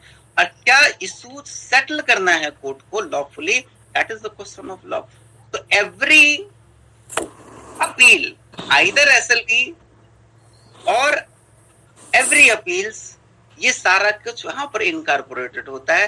Including the fact of the case in all SLP, uh, all uh, appeal except SLP. Am I clear up to this point? Yes, sir. Let us move into the appeal. जो आज का जो target था appeal में हम लोग enter कर appeal के लिए जो ग्राउंड होता है ना वो ऑलमोस्ट गाइडेड होता है अपील का जो अपील के अंदर बॉडी के अंदर और क्या क्या होगा जस्ट इमेजिन पूरे मेन बॉडी के अंदर जो क्या होगा? इम्पोंग ऑर्डर का इंट्रोडक्शन जैसा इसमें हमने कल डिस्कस किया था। It is the important part another important part is question of law fact of the case brief fact of the case and declarations mandatory declarations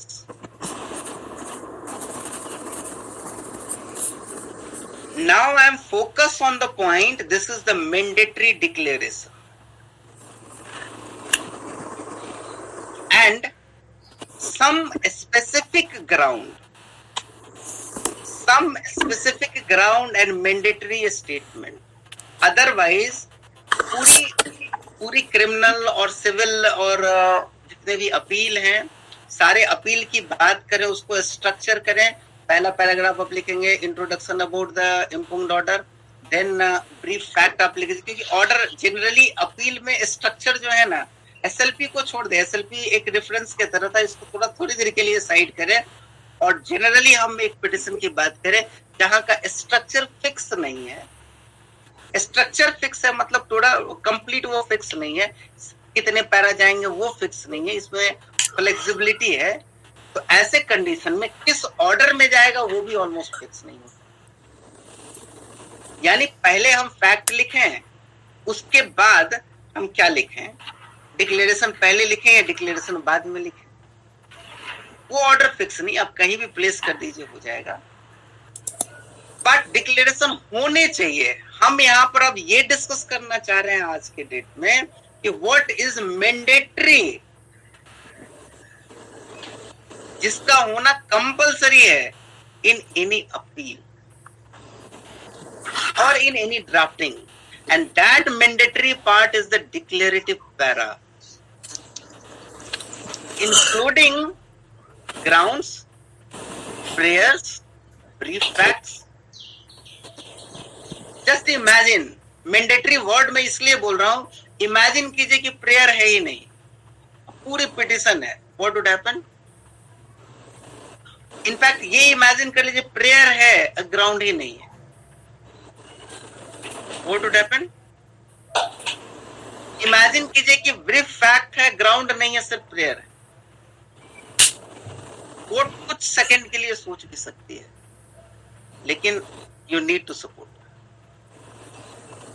so these are the mandatory part which must have to be there कम से कम एक ही दो सटीक that is declarative paragraph statement brief facts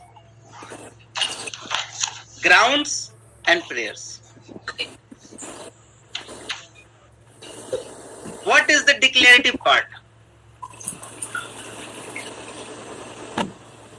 declarative declarative part सारे type के Question में एक जैसा होगा answer is no it is rooted from substantial law for example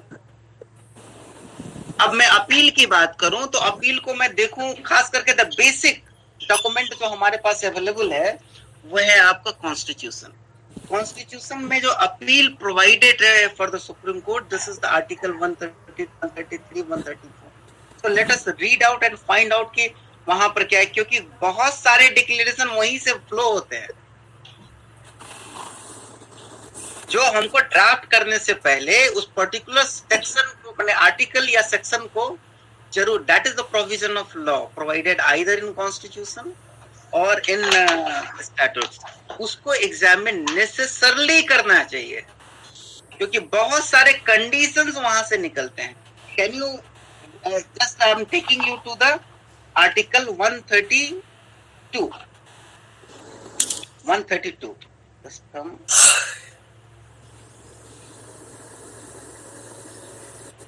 This about the appeal. 132 में ये कहता है application shall be shall lie to the supreme court from any judgment decree and final order of the high court in the territory of India इतना ही पहले interpret करें। This is writing the three things any judgment decree and final order right they never ever talked about interim order और appellate provision है finality attend करने के बाद यहाँ। पहला कंडीशन यहाँ पर यह जो हम डिस्कस करना चाहते हैं। An appeal shall lie to the supreme court from any judgment, decree, and final order of the high court. So आपको पिटिशन लिखते समय ये डिक्लेयर नहीं करना चाहिए कि ये डिग्री फाइनल ऑर्डर है या जजमेंट है या डिग्री है और ये इस कोर्ट से है। क्या ये डिक्लेयर नहीं होना चाहिए? एक लाइन डिजर्व करता है यदि इसमें आप ये फ़ाइल करते हैं कि the impugned judgment is passed by such and such court and it is the final judgment final order और डिग्री और judgment so this declaration, i'm talking about the declaration.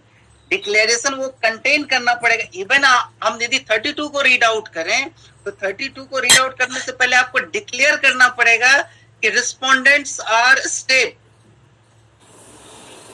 and this is the mandate in the 32 even in 226 आपको ये भी declare करे, करना पड़ेगा कि आप सिटीजन हैं या नहीं है। यदि आप सिटीजन हैं तो ऑल फंडामेंटल राइट्स के हकदार हैं। और यदि आप सिटीजन नहीं है तो ओनली 14 एंड 21 के हकदार हैं, क्योंकि उसमें नो परसेंट की बात करता है। मैं रीड आउट कर देता हूँ article 14 it said the state shall not deny to any person. Any person means what? Only citizen. No even Kasab भी हमारे यहाँ आएगा तो उसको भी इक्वलिटी प्रोवाइड कराए जो कराया गया। लॉफुली उसके लाइफ को, मैंने लिबर्टी को कटिल किया गया। And same thing if you will go to the 21 21 itself says no person shall be deprived no person but if you will come to the article 19 then all citizens shall have the right. So this is for the citizen only. So the fundamental right जो भी है वहाँ पर distinct तो ये declaration होना चाहिए या नहीं पिटिशन में क्या I am the citizen or non citizen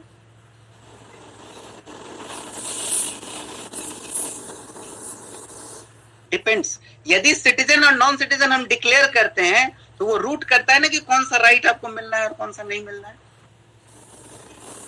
If non citizen is there they are entitle to the only two right that is article fourteen and article twenty one if they are citizen they are entitle to everything under part three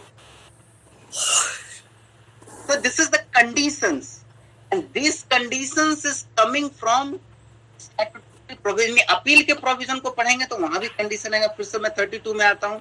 thirty का condition क्या है? Thirty का condition ये है an appeal shall lie to the supreme court from any judgment decree और final order of the high court in territory of India whether in the civil criminal और other proceedings if the high court certified high court certified under article 134 A that that the case involves a substantial question of law as to interpretation of the Constitution. ये certificate है तो इसको avoid करना पड़ेगा ना वहाँ petition में this um, uh, this uh, um, uh, petition comprise with the certificate provided by the High Court, which says which, which says the case involves substantial question of law as the interpretation of the Constitution. कैसे ये section इन invoke होता है? उसके condition को fulfil करने के बाद ही। और उस तो मेरा पॉइंट यहाँ पर एकदम क्लियर है। Even you too will go to the 134 criminal को में भी पढ़ लेते हैं। क्रिमिनल में भी थोड़ा सा देख लेते हैं। An appeal shall lie to the supreme court from any judgment final order और sentence in the criminal proceedings of the high court in the territory of India और ये हाई कोर्ट की बात है। कोई और ट्राइब्यूनल अलाउड ही नहीं। If the high court has appeal reverse the order of acquittal of an accused person and sentence him to that condition number one तो आप वहाँ पर पिटिशन में ये अवॉइड करेंगे कि ये ए का केस है या बी का केस है या सी का केस है। Is this not mandatory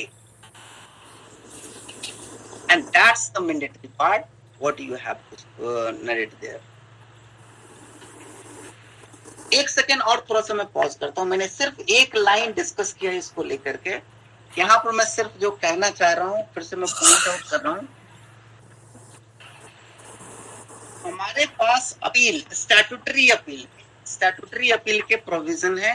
Section 130 E of the custom act 35 L of the central excise act section 23 जो कि अभी चेंज हो चुका है कंज्यूमर प्रोटेक्शन एक्ट तीन one B of contempt of court act 38 of the Advocate Act 116 uh, 116A of the Representation of People Act 51 18 the Telecom Regulatory Act 15 jet the uh, CV Act and income. There are list.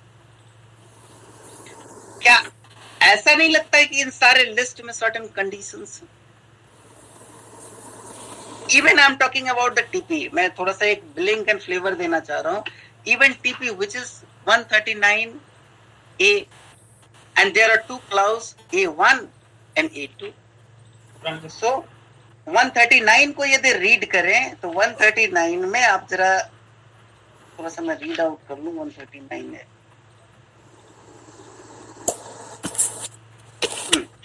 यहाँ A one first करता है। Condition is where case involving the same और substantially the same question of law are pending before the supreme court and one और more high court और before two और more high there are two condition comprising in this one substantial question of law same और substantially same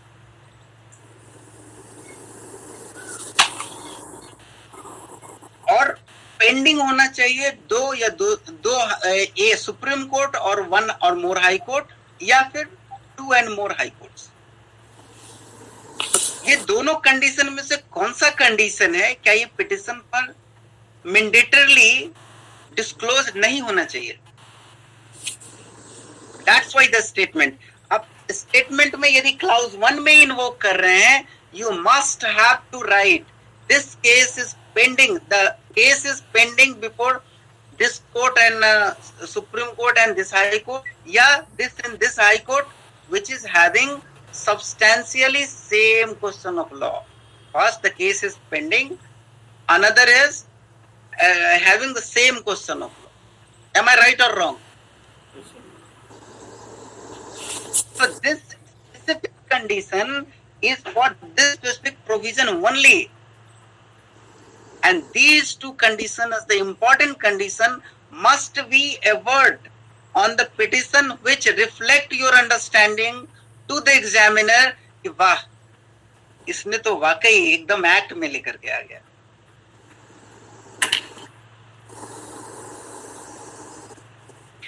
Now I am talking about the another condition that is the very much important. It's a locus. आगे मैं पढ़ रहा हूं उसी चीज को high court and the Supreme Court and the Supreme Court is satisfied on its motion or an application made by the Attorney General of India, Attorney General of India, or by party to any such case that such questions or substantial question of the general importance यहाँ पर दो चीज़ है one is the satisfaction of satisfaction of the court is that it says satisfaction of the court is that the such questions are substantially question of general importance तो petition पर आपको ये भी cover करना पड़ेगा ना स्टेट करना पड़ेगा कि what question is pending which is common among different forum और ये भी एफर्ट करना पड़ेगा कि this question have the general importance nature of the general importance as per this ये एक एक लाइन यदि लिख दिया जाए कि जनरल इंपॉर्टेंस और ये भी आपको, इसको मैंने कौन, इसका पिटिशन एप्लीकेशन लाने का तीन मोड यहाँ का हुआ है। Either court its own motion that is the suo motu court के नॉलेज में आया कोर्ट खुद कर दिया, या फिर अटॉर्नी जनरल ये दोनों को माइनस कर दीजिए। अब तीसरा ऑप्शन क्या बचता है? Only party before the any of the court और यदि थर्ड पार्टी यदि चाहता है तो वो डज दे अलाउड नहीं। जब वो अलाउड नहीं है तो ये डिस्क्लोज करना पड़ेगा ना हु आर यू है, या पार्टी है, कहाँ है तो वो डिस्क्रिप्शन डिस्क्लोजर के बिना ट्रांसपोर्टेशन कंप्लीट कहलाएगा। ये तो बहुत ही प्रिलिमिनरी गेट डोर है। इसको क्लियर करने के बजाय इंटर कैसे करेगा लॉजिकल सो ये तीन ग्राउंड या स्टेटमेंट जो कह लीजिए, वो यहाँ पर ऑलरेडी मेंशन है। कि मुझे ट्रांसफ़र कर लो या अपने यहाँ ट्रांसफ़र कर लो। क्यों ट्रांसफ़र कर लू? उसके चार रीजन आपको देने दो रीजन देने या एक भी रीजन दे तो चले। What I want to point out that इस सेक्शन के तहत रेमेडी हम इन सम कंडीशन वहाँ भी है। Which is resulted into the petition as a statement and as a mandatory state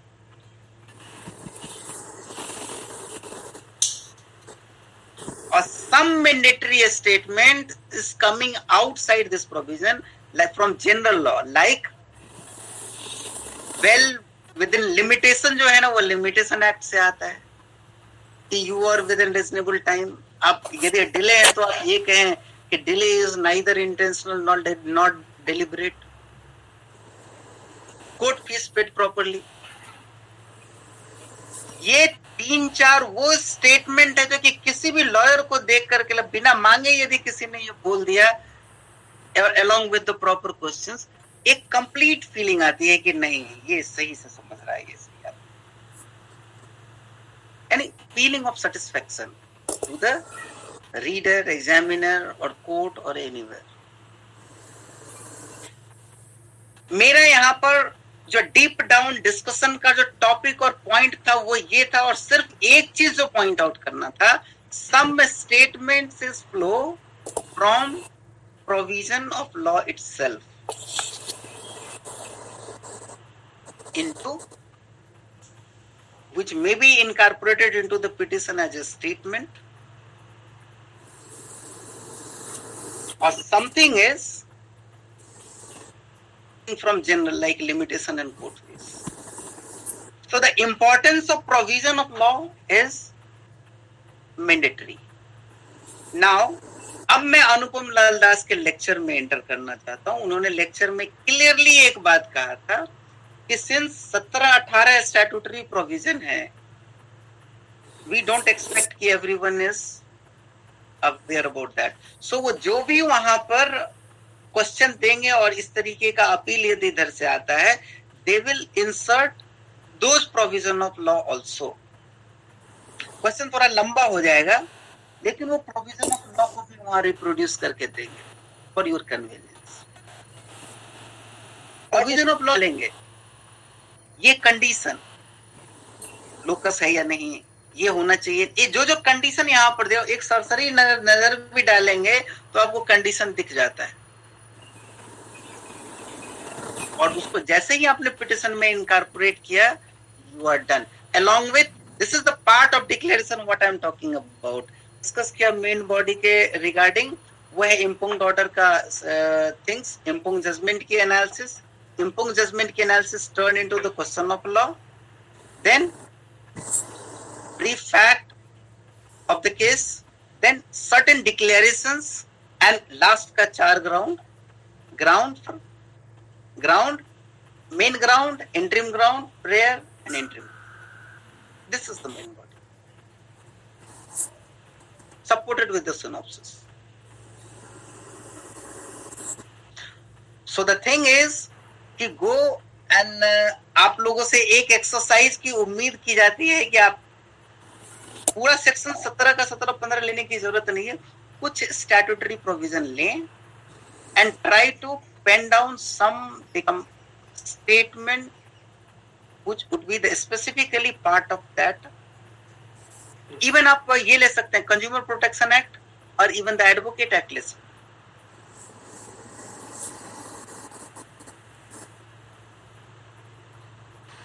sir civil appeal में आ, मैंने नोट किया था एक रूल्स में।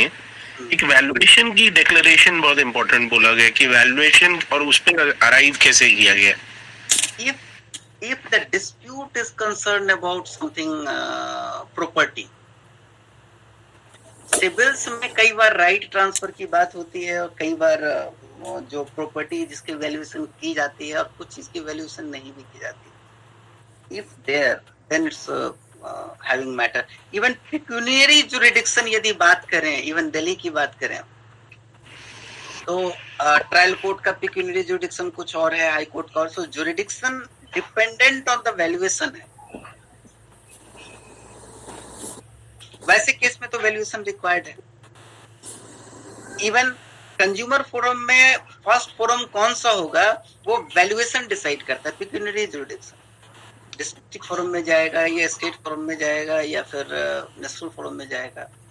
सर उस गाइडलाइन में ये भी लिखा है कि valuation is not possible then you write this कि वैल्यूएशन नहीं है एंड हेंस कोर्ट फ़ीस भी लिखना है. 300 सौ का देखिए गुप्ता जी आप सपोर्ट करना चाहें तो सपोर्ट करें। क्योंकि मैंने यूजुअली ये जो है ना सिर्फ़ एग्ज़ाम नहीं एक एक्सरसाइज है रियल लाइफ का भी।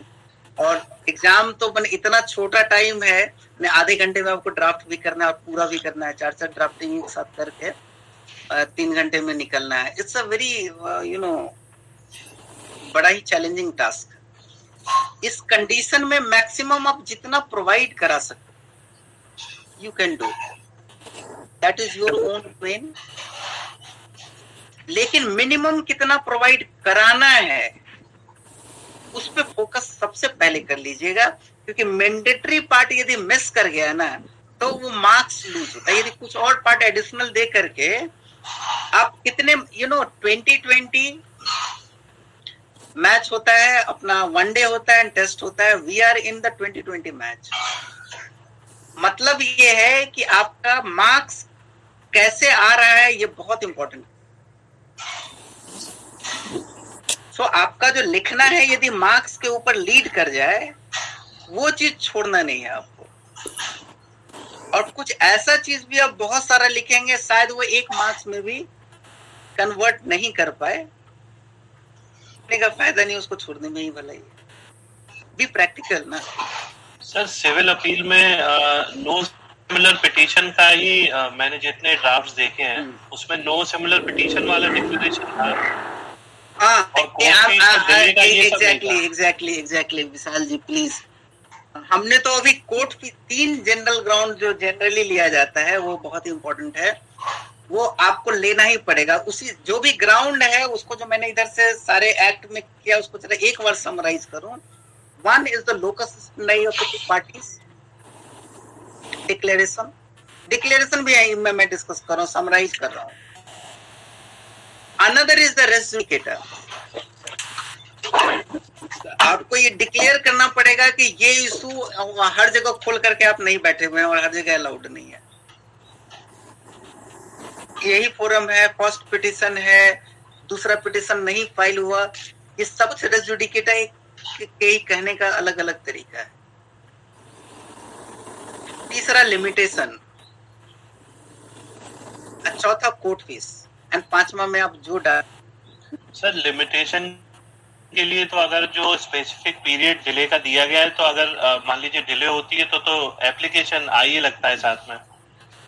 Vishal ji can I request question answer at the last please नहीं नहीं नहीं ठीक है ठीक है आई आई हैव डन मैंने प्रॉपरली ये सिंक हो गया है ये विदाउट एनी डिक्लेरेशन बट ये विशाल जी का क्वेश्चन वैलिड है। Vishal ji lawyers are the very smart community उनको कब स्पेसिफिक होना है और कब जनरल होना है they are very much aware about यदि वो लिखा हुआ है कि तीस दिन का लिमिटेशन और आप उन्तीसवें दिन जा रहे हैं they were fairly saying we are well within the limitation because this is the date of judgment and we are filing on that और यदि वो लिमिटेशन को एक्सीड कर गए हैं और तीस दिन, सौ दिन, पाँच साल, सात साल है।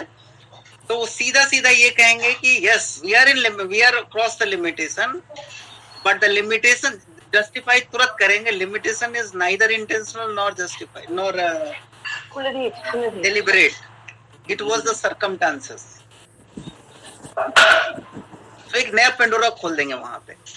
अब मेरा पॉइंट यहाँ पर ये है अफकोर्स लिमिटेशन के लिए स्पेसिफिक हो जाए तो अच्छी बात है, लेकिन स्पेसिफिक होने की ज़रूरत नहीं आप सिर्फ़ एक लाइन डेडलाइन लीजिए विद इन लिमिटेशन आप हैं या नहीं।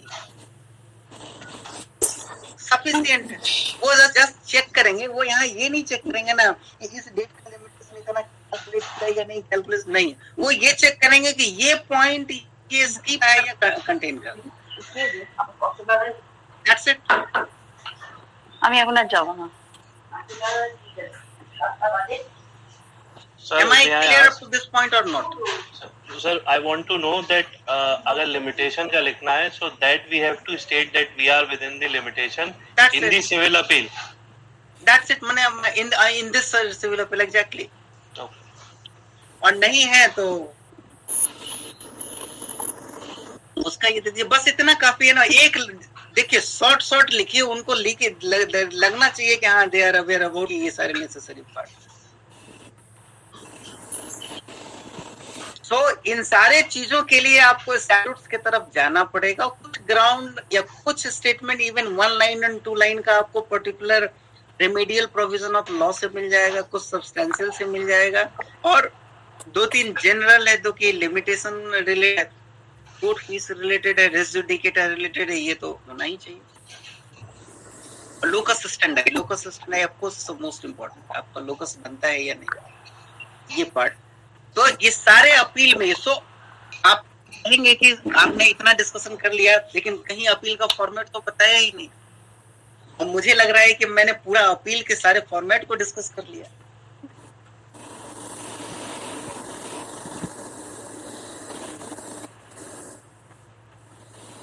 बताइए कोई डाउट हो तो डिस्कस किया जाए। Sir I have a doubt please ये ये जो ना लेक्चर में बताया था कि we need to write four grounds and two question of law yes can you please show some light on this sir कि क्या general question of law clear रहेंगे? सॉरी क्या क्रिस्प एंड क्लियर जो question of law and grounds जो four grounds and two question of law in every answer what they said is in the drafting can you just please show some light के ये exactly हो सकता है कि ground होगा और ये क्वेश्चन ऑफ़ लॉ मैं एक एक मिनट मुझे टाइम दीजिए मैं थोड़ा सा एक सेकंड दीजिए मैं शायद कोशिश करता हूँ कि मेरा वो मिल जाए। तो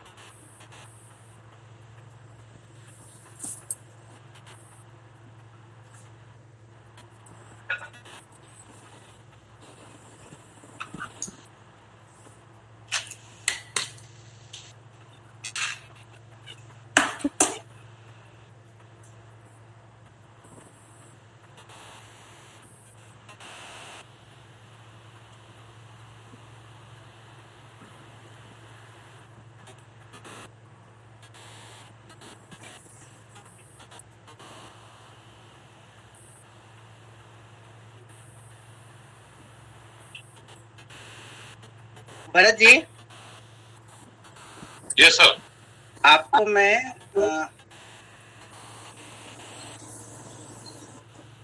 भेज रहा हूँ अपना। जरा उसको आप शेयर कीजिएगा। सर हाँ व्हाट्सएप पर भेजा मैंने। सी सर आपने जो अभी पूछा उसमें कंसर्न यहाँ पर यह है कि क्वेश्चन ऑफ़ लॉ और जो तीन ग्राउंड होने चाहिए, वो ग्राउंड क्लियर होने चाहिए। उसके एक लाइव एग्ज़ाम्पल का भी होना सबसे पहले ज़रूरी है कि एक क्वेश्चन आप तब देखेंगे ना, उस क्वेश्चन को देखने के बाद उस क्वेश्चन से ही केस डेवलप होगा ग्राउंड डेवलप होगा एंड प्रे डेवलप होगा राइट तो मैं ये कर रहा हूँ कि अपना आरटीआई कॉपी जो मैंने पहले भी बोला था कि आप लोगों के साथ शेयर करूँगा जस्ट जरा उसको देखें। आपको कुछ चीज़ I am sorry this is not mine Bharat ji मैंने गलत शेयर कर दिया। मैंने गलत शेयर किया this is not mine I am sorry एक सेकेंड और जरा रुक मैं थोड़ा सा और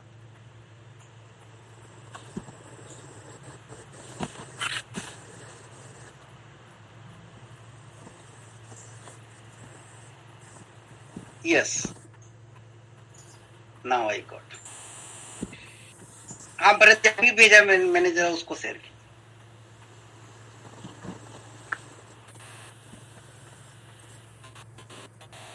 नो वन कैन इमेजिन मैंने जो आरटीआई की अपनी कॉपी मंगवाई है this is concern to drafting and I am telling you मैंने चौदह पेज में फोर्टीन पेजेस में इंटायरली फोर ड्राफ्टिंग किए only fourteen pages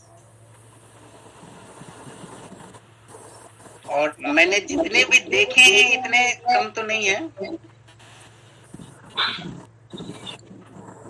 sir voice echo हो रही है। किसी के माइक कौन रह गए। प्लीज़ दीपक जी। दीपक जी तो बात ही कर रहे थे। सिंह साहब आप थोड़ा अपना माइक को म्यूट कर लें अब पहला पेज दिखाइए यस इट वाज द उसके ऊपर वाला, इस, इसके ऊपर वाला, इसके ऊपर में जाइए यस ये 2021 का है। दिसंबर में हमने लिखा था लास्ट एग्ज़ाम उसकी ड्राफ्टिंग है। और थोड़ा सा और ऊपर कीजिए। मेरा खुद का है। That's why I am dare to share with you people और ऊपर कीजिए। नहीं, वो टेबल मार्क्स का टेबल जो है उसको दिखाइए। मार्क्स का टेबल दिखाइए आप। Bharat ji. Yes keep it this is the marks question number three you can see this is twenty question number four twenty question number two now किस order में है वो, वहीं पे लिखा हुआ होगा? गेस कि मैंने रिवर्स ऑर्डर में लिखा है, यानी पहले question number four question number three आगे फर्दर प्रोसीड किया है। अब जरा अब आंसर सीट दिखाएँ। क्वेश्चन क्या है, अभी मुझे याद नहीं है। You need to point out the questions जो मैंने कहा है, उसको मैं ये करना चाहता हूँ। बस यहाँ पर पॉइंट आउट इसके प्रूफ में ये आपको बताना चाह रहा था। This is the question number four from section four and it is it is the transfer petition it is very clear this is a transfer petition मैंने क्या लिया है वो देखिए। In the Supreme Court of India Supreme Court rules order 41 rule one वहाँ से transfer का jurisdiction है। Original jurisdiction, transfer petition transfer petition under article 139a2 read with section 25 of the CPC दोनों को कंप्राइज किया एक साथ। Transfer petition number this prayer with the interim relief थोड़ा ऊपर कीजिए आप। This is the mandatory part और इसमें जो दोनों रूल था वो ज़रूरी था। नाउ मेमो ऑफ़ पार्टीज़ ये छोटा सा मेमो ऑफ़ पार्टीज़ था। और ये एप्लीकेशन किसके रिगार्डिंग है? An application under section such and such such and such then started to the honourable chief justice of India और ऊपर जाइए, ये फ़र्स्ट पेज है। थोड़ा और ऊपर जाइए। ये ये मैंने यहाँ से लेना शुरू किया। फैक्ट फैक्ट को इनकारपोरेट किया। आगे ऊपर जाइए। थोड़ा और। थोड़ा और, ये टू है। टू रुकी रुकिए यहाँ से। टू टू को थोड़ा सा फ्रेम में लाइए। हाँ। That the relevant fact of the case is as यहाँ रिलेवेंट फैक्ट लिया। पहला इंट्रोडक्शन दूसरा relevant fact one two three ये फैक्ट ले लिया। आगे ऊपर आइए।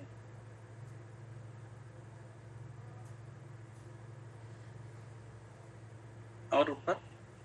चार फैक्ट पाँच, छह फैक्ट पे हमने लिया। This was the second page नहीं sorry this is the ground और आगे पार कीजिए। और आगे। ना ना, वो फैक्ट ही था नो फैक्ट था। Now this is a ground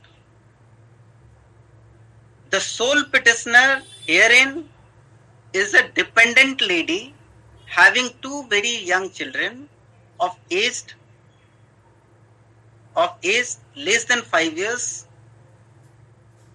on her parent because this is connecting through the dependent lady on her parent having no source of income source of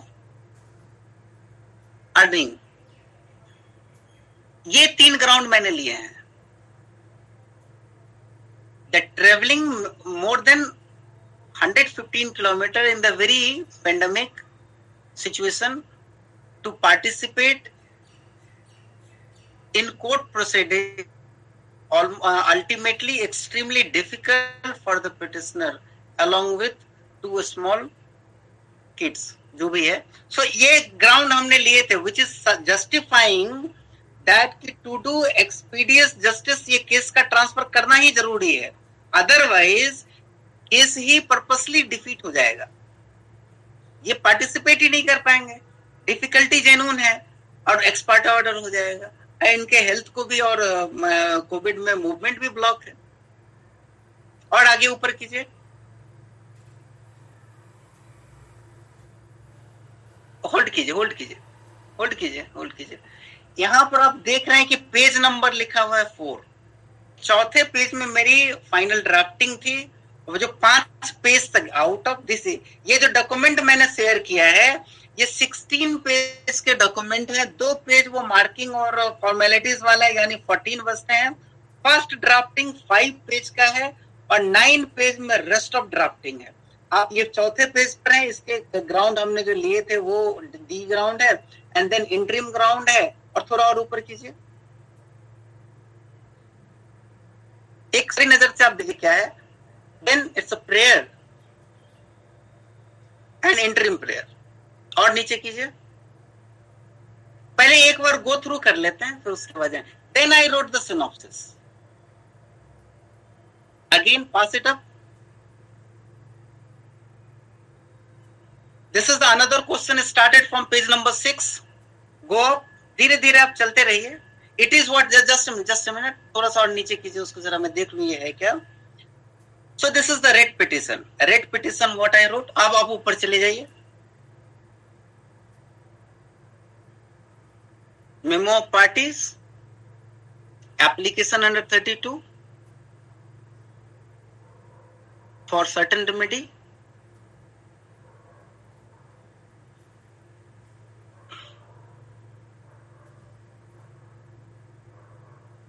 then uh, this uh, ground is started now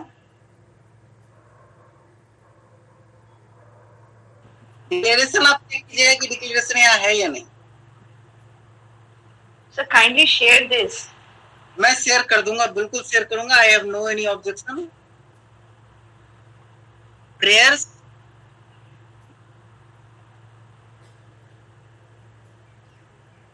पहले बस check कर ए, ए, ए, एक मिनट मैं जरा एसएलपी पे आना चाह रहा था। This is the eight ground okay go ahead थोड़ा और ऊपर कीजिए।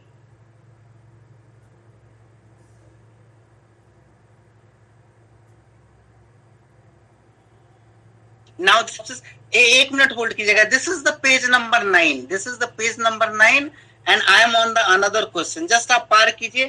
Ten eleven twelve thirteen fourteen यानी बाकी के चार चार, पाँच पेज में जो लास्ट का जो स्पीड भरा है, वो मैं दिखाना चाह रहा था। Now this is I am entering into the S L P S L P में मैंने सोनोप्सिस लिखा। This is the S L P what is their instant S L P is like this थोड़ा सा पार कीजिए। This is page number one one page synopsis now slp is started uh, under rule and regulation this is a criminal so that's why 2013 21 i met there and uh, under article 136 उसके बाद फिर SLP शुरू हुआ आप ये पहला paragraph है थोड़ा और ऊपर चले जाइए दूसरे पैराग्राफ पर this is the question of law दो ग्राउंड एंड तीन ग्राउंड दैट्स इट देन आगे मूव कीजिए चौथा ग्राउंड तीसरा ग्राउंड है ये। तीन ग्राउंड खत्म। Para three statement is there para four statement is there आगे पार कीजिए। Ground that that was the question of law. Now this is the ground then रुकिए जरा सा। क्योंकि हाईकोर्ट ने ये गलती की। हमने, हम, मेरे ब्रेन में सिर्फ़ एक ही, इसी बात है। Why I am supporting my prayer ground क्यों चाहिए? मैं क्यों आपको, मैंने इंटरफेरेंस चाहिए? क्योंकि हाईकोर्ट ने ये गलत कर दिया।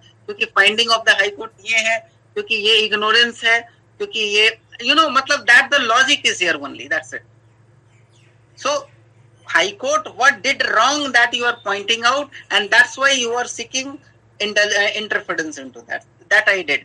देख लीजिए, मैंने पाँच दिए हैं यहाँ पे, और थोड़ा सा पार कीजिए। इंटरिम के यहाँ पे हैं, नीचे। एंड जस्ट होल्ड थोड़ा सा बस नीचे वाला पोर्शन उसका दिखाइएगा तो उस पेज का। थोड़ा सा। आप जरा देखिए, जब टाइम कम होता है तो कैसे लोग फास्ट करते para six seven and eight I wrote how precisely this is in front of you you know मतलब कोई फॉर्मेल नहीं है। पैरा सेवन देखिए, allow the special leave to appeal against the impugned order or pass any order, this, कोई formal नहीं है, सीधा डाल दिया।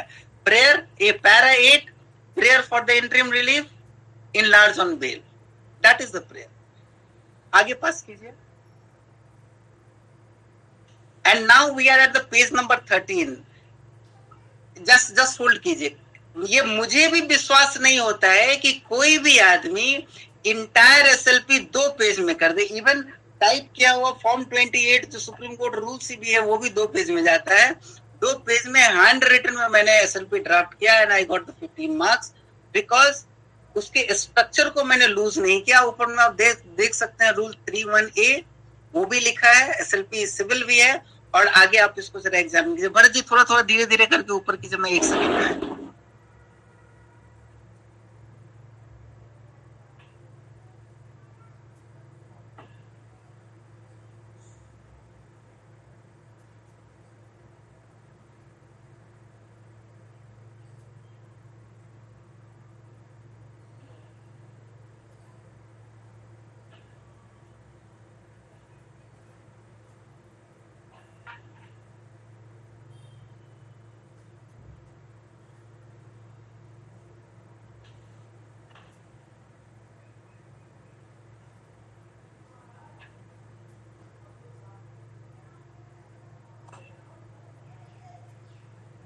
सर इसमें कहीं साइटेशन एंट्री नहीं किए हैं।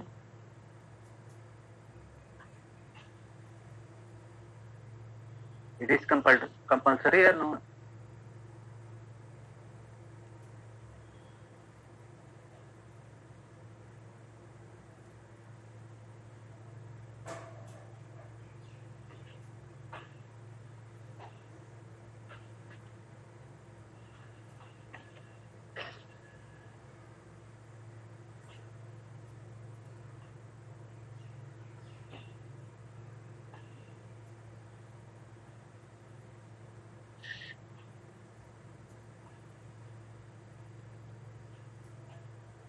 हाँ sir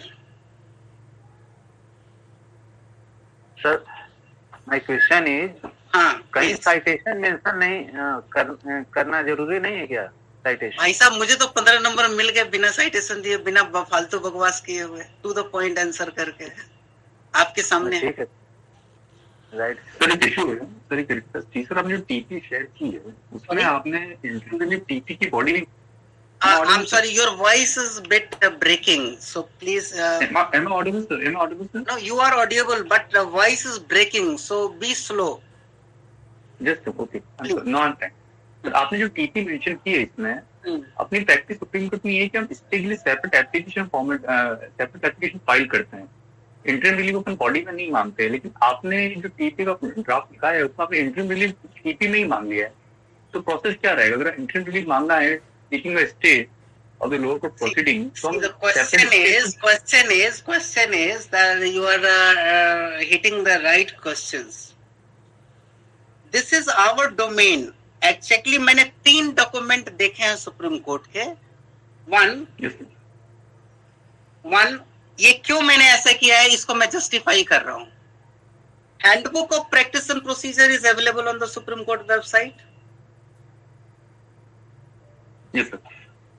उसमें मैंने फॉर्म 32 एंड 33 देखा जो रेट एंड पीआईएल के लिए है।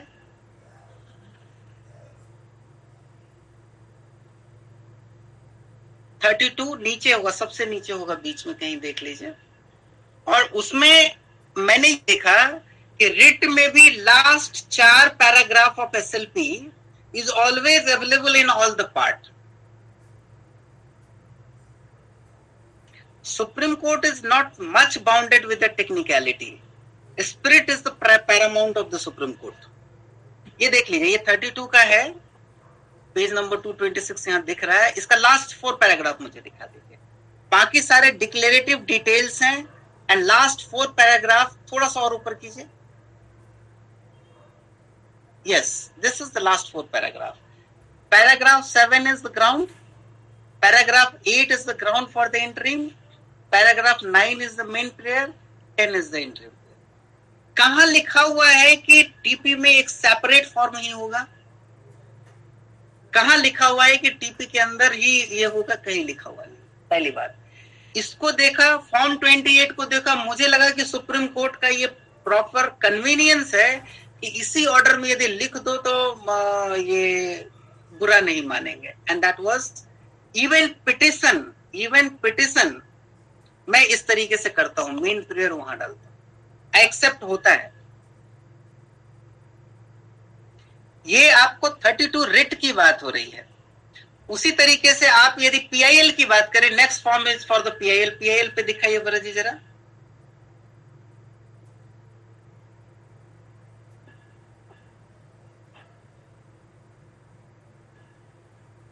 Yes thirty three cause title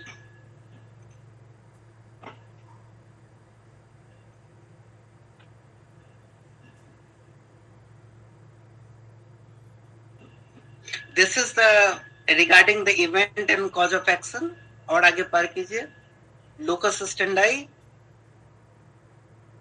fact that is cause of action source of information detail of remedies exhausted res judicata nature of the injury right influenced details of the civil criminal if any where then issue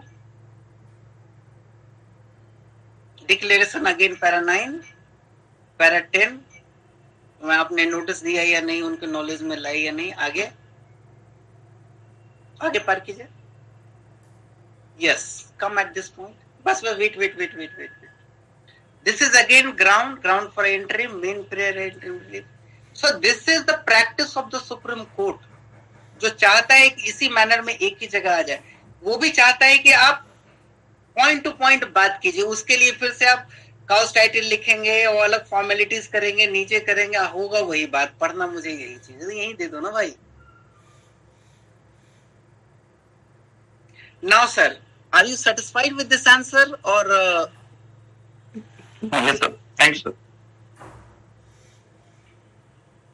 so any more questions? Please come. तो Rajeev ji just to be clear जब भी हमको interim relief चाहिए हम main petition में डाल सकते हैं किस इरिस्पेक्टिव ऑफ़ किस टाइप का पिटिशन है सुप्रीम कोर्ट में। Exactly exactly. और खास करके एग्जामिनेशन में तो बिल्कुल ही डाल सकते हैं क्योंकि हमारे पास टाइम की बहुत कमी होती है।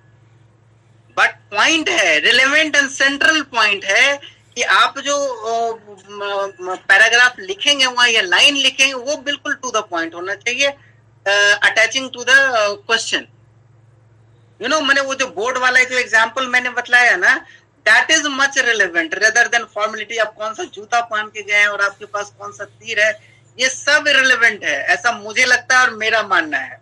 क्योंकि मैंने हर चीज़ को टेस्ट किया। क्या कोई बिलीव कर सकता है कि चौदह पन्ने में पूरी की पूरी दो पन्ने में स्पेशली दो पन्ने में एसएलपी की ड्राफ्टिंग होगी?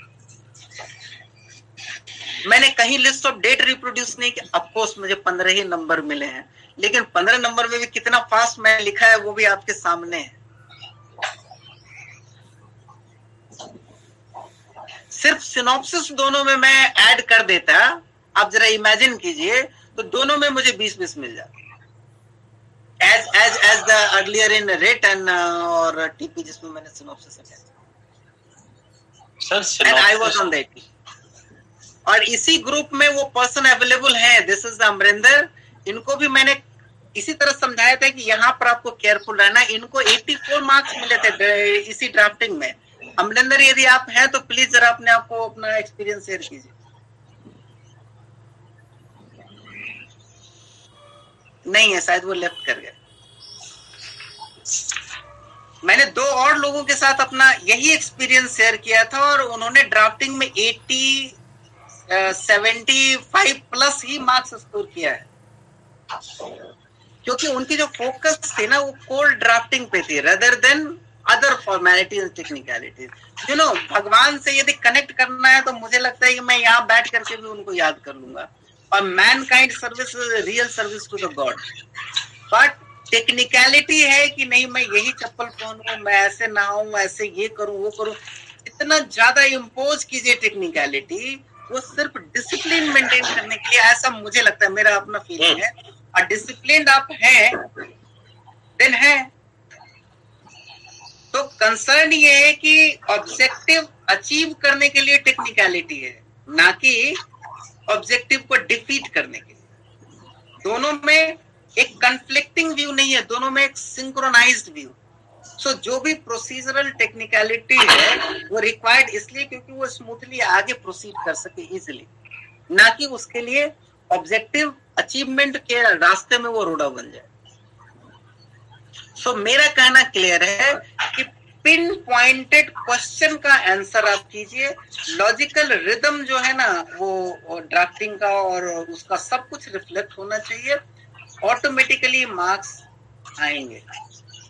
अनुपम लाल दास क्या कह रहे थे? वो बार बार ये कह रहे थे कि आपको जो है ना, आपके ग्राउंड से ये पता चलना चाहिए कि yes you are able to connect what connection that connection of the fact with the law that connection with the ground with the prayer. ऐसा रिजनेबल रीजन लग, लगे जिससे कि कोई भी एक लॉ समझने वाला कहे कि नहीं नहीं, ये रिलीफ का entitle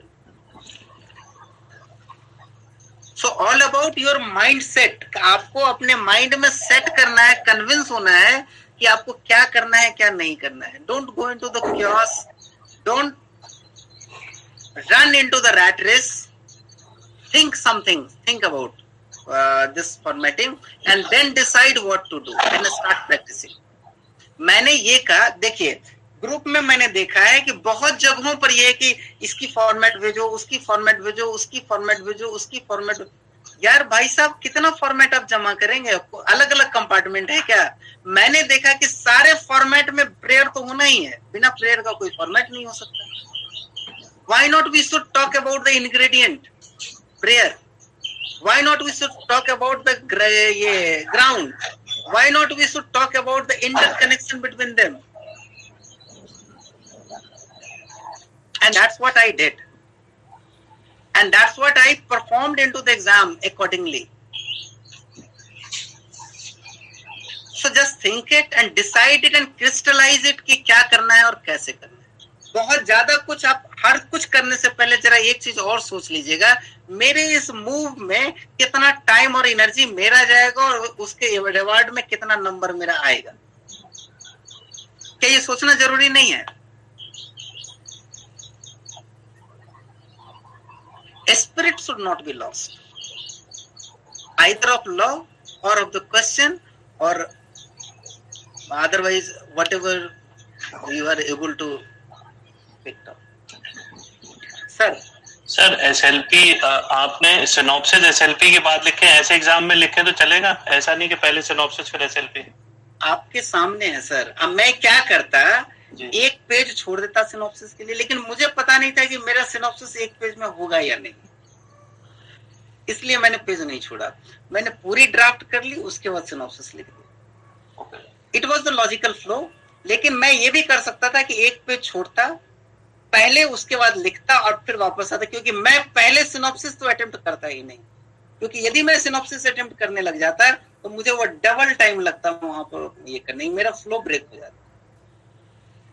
It was my end constant आप लोग अपने अपने हिसाब से देखिए लेकिन मेरा ये फ्लो है और मुझे लगता है कि बाकी सारे लोगों को भी यही फ्लो है। ऑर्डर आगे पीछे होना कहाँ फ़र्क पड़ता है? जहाँ पर एकदम ऑर्डर क्रिस्टल है वहाँ ठीक है। कंटेंट तो जा रहा है एग्जामिनेशन क्या करेंगे? मतलब ऑर्डर के वजह से कितना नंबर काटेंगे और क्यों काटेंगे? यही करेंगे ए, एक आदमी ऐसा है जो पूरे ऑर्डर में गया है और मैं ऑर्डर डिस्टर्ब कर दिया। तो लिखा उतना ही है। तो मुझे एक नंबर उससे कम आएगा। प्लस माइनस वन मार्क्स से ज़्यादा का फ़र्क नहीं है। बट मेरे लिए फ़र्क पड़ता है क्योंकि उतना ही टाइम में मैं अगले क्वेश्चन पे स्विच करूँगा, पढ़ लूँगा, समझ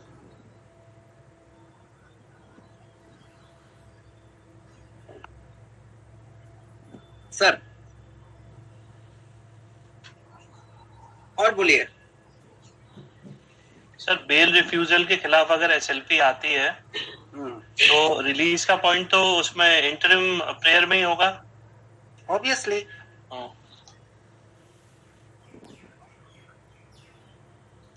ये छोटी छोटी बातें अपने आप फ्लो में जब लॉजिकल देखिए बहुत सारे डाउट्स कब आते हैं?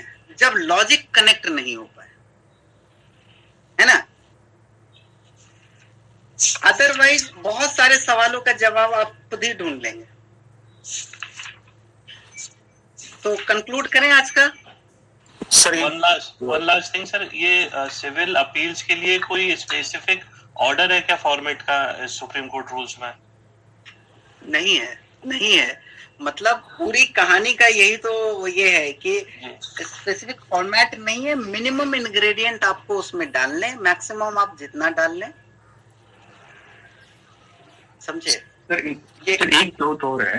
हाँ, हाँ एक मैंने समराइज में यदि करूँ तो बस फॉर्म 28 और अपील के बीच का डिफरेंस क्रिएट करना चाहूँ तो मैं ये कहूँगा मैं ये कहूँगा दो चेंजेस मैं करूँगा फॉर्म 28 में for the purpose of appeal changes number one कि पैरा आठ जो है ना उसमें एक पैरा और मैं इंसर्ट करूँगा दैट इज़ ब्रीफ फैक्ट और डिक्लेरेशन पार्ट जो दो दिया हुआ है उसके साथ दो तीन चार और मैं इंसर्ट कर दूँगा regarding locus standi and all and all and everything as it is छोड़ दूँ। Are you getting my point और नॉट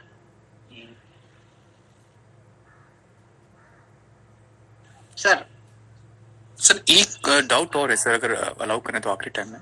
प्लीज़ प्लीज़ सर 136 एप्ली 136 क्रिमिनल पिटीशन में अगर हम कन्विक्शन के अगेंस्ट आ रहे हैं तो बेल के लिए सेपरेट एप्लीकेशन की ज़रूरत थोड़ी है सर। वो तो इंटर रिलीफ में मांग सकते हैं या फिर हम उसको स्टे मांगेंगे कन्विक्शन का ऑर्डर का? नहीं नहीं देखिए कन्विक्शन ये ये जुरिस्प्रूडेंशियल पार्ट है। जैसे ही किसी को कन्विक्शन होता है सेंटेंस हो जाता है इमीडिएटली ये एज्यूम्ड है they started serving the sentence और उनको पकड़ के जेल में भेज दिया जाता है।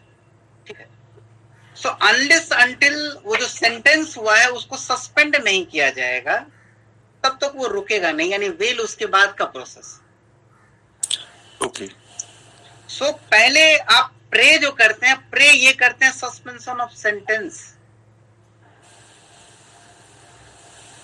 सेंटेंस को सर्टन पीरियड के लिए सस्पेंड कीजिए जब आपको लगेगा कि नहीं इसको वापस जेल भेजना है तो सस्पेंशन हटा दीजिए वो कंटिन्यू होता रहेगा। टेक्निकल पार्ट है ये जुरिस्प्रूडेंशियल पार्ट है। तो ये वहाँ से फ्लो होता है इसीलिए जिनका कन्विक्शन हो चुका होता है यानी ट्रायल कंक्लूड हो चुका है सेंटेंस अवार्ड हो चुका होता है आइदर इन हाई कोर्ट और अदरवाइज़ सो जब कन्विक सेंटेंस वो सर्व कर रहे होते हैं तो उस समय उनके सेंटेंस को सस्पेंड कराया जाता है। और सस्पेंशन के रिज़ल्ट में by default it is on bail तो सर सेपरेट बेल एप्लीकेशन नहीं लगेगी इसके साथ? Not required not required not required. That is the part of it तो सर जो कल क्वेश्चन आपने शेयर किया था वो 136 वाला उसमें उसमें ये क्वेश्चन ये था कि सेपरेट बेल एप्लीकेशन भी फ़ाइल करें। हाई कोर्ट देखिए एक एक एक बात मैं आपको ये बताता हूँ। ये देखिए not required and mandatorily required में थोड़ा डिफरेंस है। हमने हमारे पास अल्टरनेटिव ऑप्शन है या ओनली ऑप्शन है इसमें भी डिफरेंस है। बेल एप्लीकेशन हम अलग से लगाएँ, मेरी मर्ज़ी है। क्या वो डिबार होता है? फॉर्म 28 में the answer is yes form 28 में स्पेसिफिकली पैरा दिया हुआ है, आपको डिबार करता है कि स्पेशल एप्लीकेशन लेकर के आए। बट इवन रजिस्ट्री आपको ऑब्जेक्शन लगाएगी। लेकिन यदि आप अपील में अंदर में प्रेयर ले लेते हैं, तब भी रजिस्ट्री ऑब्जेक्ट नहीं करेगी। और आउटसाइड एक एप्लीकेशन स्पेसिफिकली आप मूव कराते हैं तब भी आपको डिस्टर्ब नहीं करेगी the question is this in appeal you have a choice for the purpose of examination which choice you should adopt that is your own choice I clear or not? Uh, you're clear, sir, but I'm still have a doubt. तो ultimately you are saying कि 136 में हम separately file नहीं करेंगे bail application right sir लेकिन sir कल जो आपने ड्राफ्ट शेयर किया था ग्रुप में उसमें आपने लिखा था कि this is case of 136 and question ये कहता है कि separate bail application also move on करो। तो 136 में हम सेपरेट बेल एप्लीकेशन कैसे मूव ऑन करेंगे? बिकॉज़ बेल तो हम ऑलरेडी इंटरिम रिलीफ में मांग रहे हैं। सस्पेंशन ऑफ़ सेंटेंस के फॉर्म में। सॉरी मैं समझा नहीं। वापस जरा रिपीट कीजिए। कल सर आपने क्वेश्चन शेयर किया था हाँ क्वेश्चन था 2017 का yes yes sir yes sir उसमें सर हाई कोर्ट ने रिवर्स कर दिया था और 302 में कन्विक्ट किया था। Right hmm. उसमें यहाँ क्वेश्चन ये था कि 136 में क्या एसएलपी फ़ाइल करे क्रिमिनल हमने फ़ाइल की। क्वेश्चन हम्म। का सेकंड पार्ट कहते हैं कि बेल एप्लीकेशन भी फ़ाइल ऑन करें। तो बट 136 में हम separate bail application move on नहीं करते हैं। हम इंटरम रिलीफ में ही बेल मांग लेते हैं। टू द एक्सटेंड की सस्पेंशन ऑफ़ सेंटेंस के फॉर्म में। तो हम्म, अगर हम वन हम्म। थर्ड इस अगर इस क्वेश्चन में अगर बेल एप्लीकेशन चलो मूव ऑन कर भी देते हैं तो एग्जामिनर हमारे एग्ज़ाम मतलब मार्क कैसे अलॉट करेगा? बिकॉज़ फॉर्म 28 तो कहता नहीं है सेपरेट एप्लीकेशन फॉर बेल नहीं नहीं सेपरेट एप्लीकेशन क्यों करना चाहिए? नहीं मैं ये नहीं समझ पा रहा हूँ। पहले आपके सवाल का जवाब मैं दूँगा।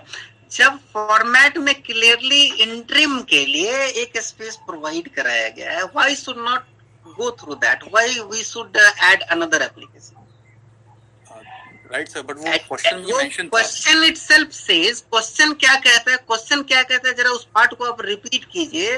वो ये एम्फेसाइज कर रहा है कि आप एंट्रीम लीजिए। उसको ब्लैंक मत छोड़िए। ये नहीं कह रहा है कि यहाँ लीजिए या वहाँ लीजिए। Just read it again just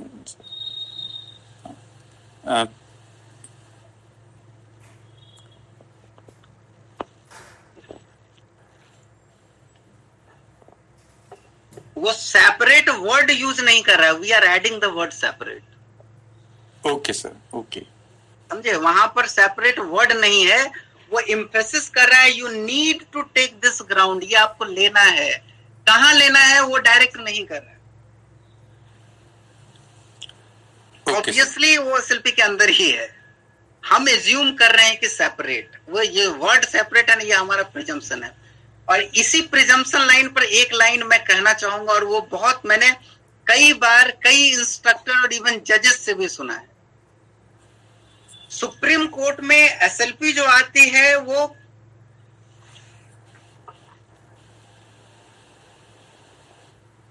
नहीं, भरत जी इसको हटा दीजिए।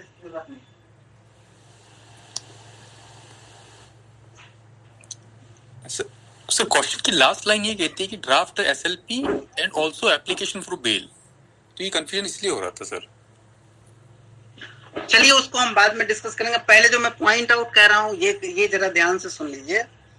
सारे, बहुत सारे एग्जामिनर ने ये क्लियरली कहा है कि जो फैक्ट आपको प्रोवाइड कराया गया है इन द क्वेश्चन पेपर उसके अलावा आप अपने मन से इमेजिन करके फैक्ट क्रिएट नहीं करेंगे।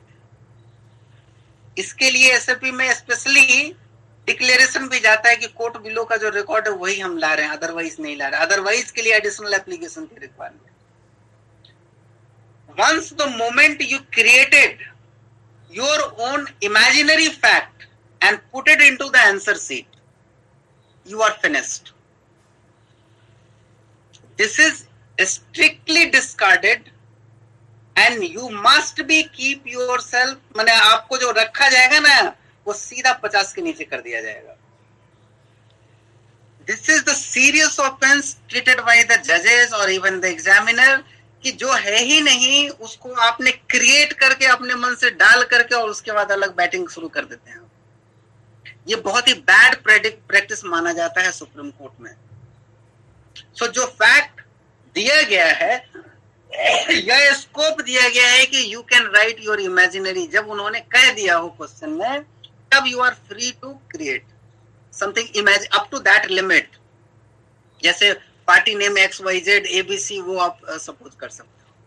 लेकिन जो फैक्ट नहीं दी, दिया गया उसी के साथ स्मार्टली कैसे क्वेश्चन लिखना है ये बहुत बड़ा आर्ट है और ये आपको कन्फाइंड होना पड़ेगा। जैसे अभी के शब्द में हमने जैसे ये कहा कि separate bail application the word separate is not there they are emphasising to write there so ये जो प्रिजम्पन हमारा है ना, ये प्रिजम्पन कई बार डेंजरस होता है। So don't presume much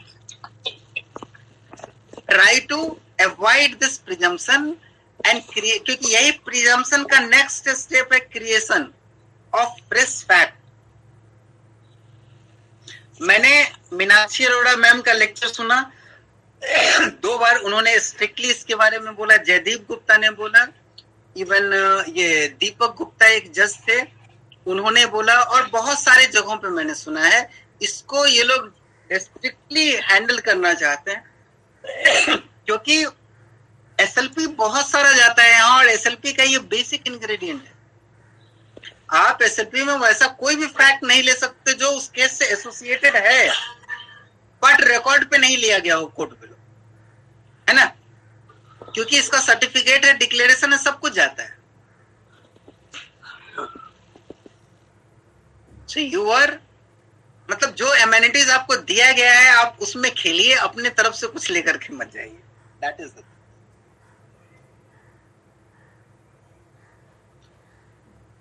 Should I conclude the meeting? Thank you so much sir कल किस समय हम लोग बैठे सिक्स ओ क्लॉक और five thirty five thirty sir कुछ डाउट्स होंगे तो पूछ लेंगे आपसे चलो ठीक है ठीक है।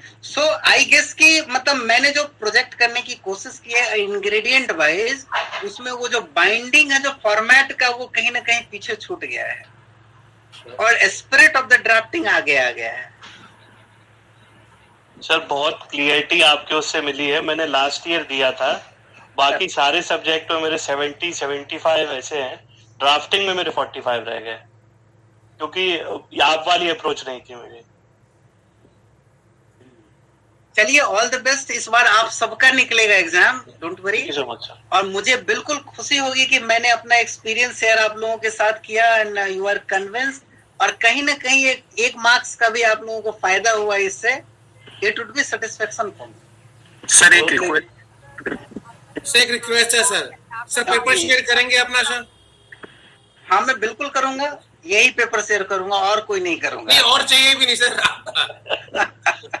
चलिए मैं शेयर कर दूँगा। लेकिन उसके लिए मेरा एक ग्रुप है मैं अपने ग्रुप पे शेयर करूँगा। उस ग्रुप का जो है ना ज्वाइनिंग का हम आप लोगों को दे देंगे उस पर आप ये मेरा एक ग्रुप है व्हाट्सएप ग्रुप उस पर ही वो सारा डॉक्यूमेंट रहता है। अदरवाइज़ साढ़े छह सौ और आठ सौ लोगों में उसको सर्कुलेट करने का कोई सेंस नहीं नहीं सर ठीक सर जो आपका ग्रुप है उसी में सर हाँ मैं आपको लिंक दे दूँगा। I am not forcing to join that group but those who are not there in the group sir those who are not there in the group then हाँ हाँ हाँ हाँ। प्लीज़ मैं वो ग्रुप शेयर कर दूँगा आप लोग और, और ग्रुप में उसको मैं शेयर कर दूँगा आप लोग ज्वाइन करने के बाद ताकि सबको वो विजिबल हो। ठीक है? ठीक है सर अभी कर दीजिएगा इसके बाद। Give me some time. Give me some yeah, time. Obviously, obviously. So around 10 or 11 o'clock, I'll do that. Sir हाँ प्लीज़ सर मैं कह रहा हूँ कि जैसे कि उस दिन उन्होंने बोला था कि एसएलपी में position of party is not required तो क्या ये ज़रूरी है? क्या चीज़ क्या चीज़ not required position of party position of party SLP में। नहीं that is the part of account मैं कहूँगा कि यहाँ पर आप रिस्क ना लें मेमो ऑफ़ पार्टीज़ जो है ना ट्वेंटी एट का पार्ट है वो इंटीग्रिटी है logical integrity of the petition है उसको डिस्टर्ब ना करें उसको आप ज़रूर लें है Sir, I have a query. Out of this, sir, what your topic you are sharing now? Sir. I have a, doubt with regard to paper four, sir. What is your technique and approach for paper four? Sir, uh, we are, if we will, uh, paper 4 is not much complicated. These two paper are very much uh, close to my heart. Three papers, basically. Uh, even all the papers, but especially the drafting and ethics. These two papers are very close to my heart, even the ethics and drafting. But uh, we do not have time to discuss all these minutes at this platform. If you people are convinced about the drafting, then I can discuss about the one session regarding the uh, this uh, leading cases. I used to develop technique to how to use the head notes into the examination.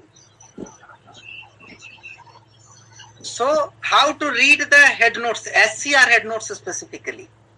At what portion, what thing you will get on that point, that I want to convey to you in one uh, session if possible. That I think it is possible.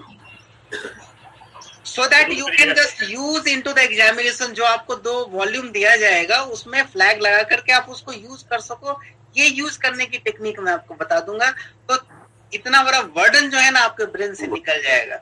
ये चीज़ हो सकता है। Surely sir बहुत सारी help हो जाएगी उसमें yes sir yes sir तो हम लोग ऐसा करते हैं कि ड्राफ्टिंग मैं मैंने अभी जो ड्राफ्टिंग के डिफरेंट डिफरेंट पैरामीटर्स लिए हैं मुझे लगता है कि रफली एक ब्रॉडर पिक्चर ड्राफ्टिंग का हमने डिस्कस किया है और ऑलमोस्ट सारा पॉइंट डिस्कस किया है कि इवन ओरिजिनल में क्या नहीं होना चाहिए। तीन चीज़ में ड्राफ्टिंग में इंटायर ड्राफ्टिंग के लिए जो इंग्रेडिएंट मैं लेना चाहूँ, तीन चीज़ मैं स्ट्रिक्टली तीन रूल को वहाँ पर बाइंड अप करना चाहता हूँ। तो rule number one be decide your own मैंने be strict on your format कि आपका फॉर्मेट क्या होना चाहिए, आप अपने ब्रेन में एकदम क्लियर रखें कि मुझे इस ऑर्डर में जाना है। जैसे कि, मैंने अभी कल्ड आउट किया form 28 that is said as main body of the petition और इक्विवेलेंट एनी पिटिशन में वो मेन बॉडी है। Synopsis list of date certificate affidavit these are the supplementary part to the main body जिसके रहने और नहीं रहने से कोई ज़्यादा फ़र्क नहीं पड़ता है। चॉइस इज़ योर्स ये पार्ट डिस्टिंक्शन पहला था। So main body must be very carefully designed. Number one number two mandatory clause must be there. That is locus standi, res judicata, limitation. 18 चीज़ तो बहुत ज़रूरी है then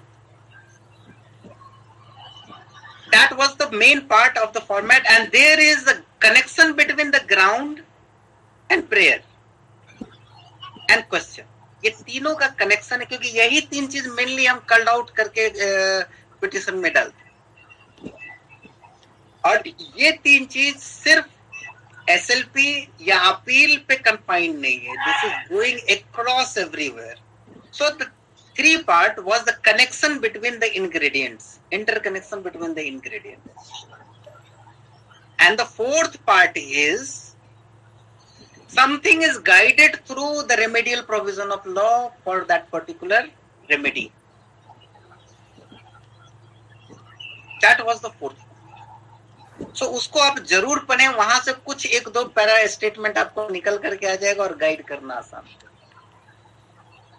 और पांचवा मोस्ट इंपॉर्टेंट पार्ट था it was the distinction between appeal and original jurisdiction appeal में amount order है, जबकि ओरिजिनल जुरिडिक्शन में set of facts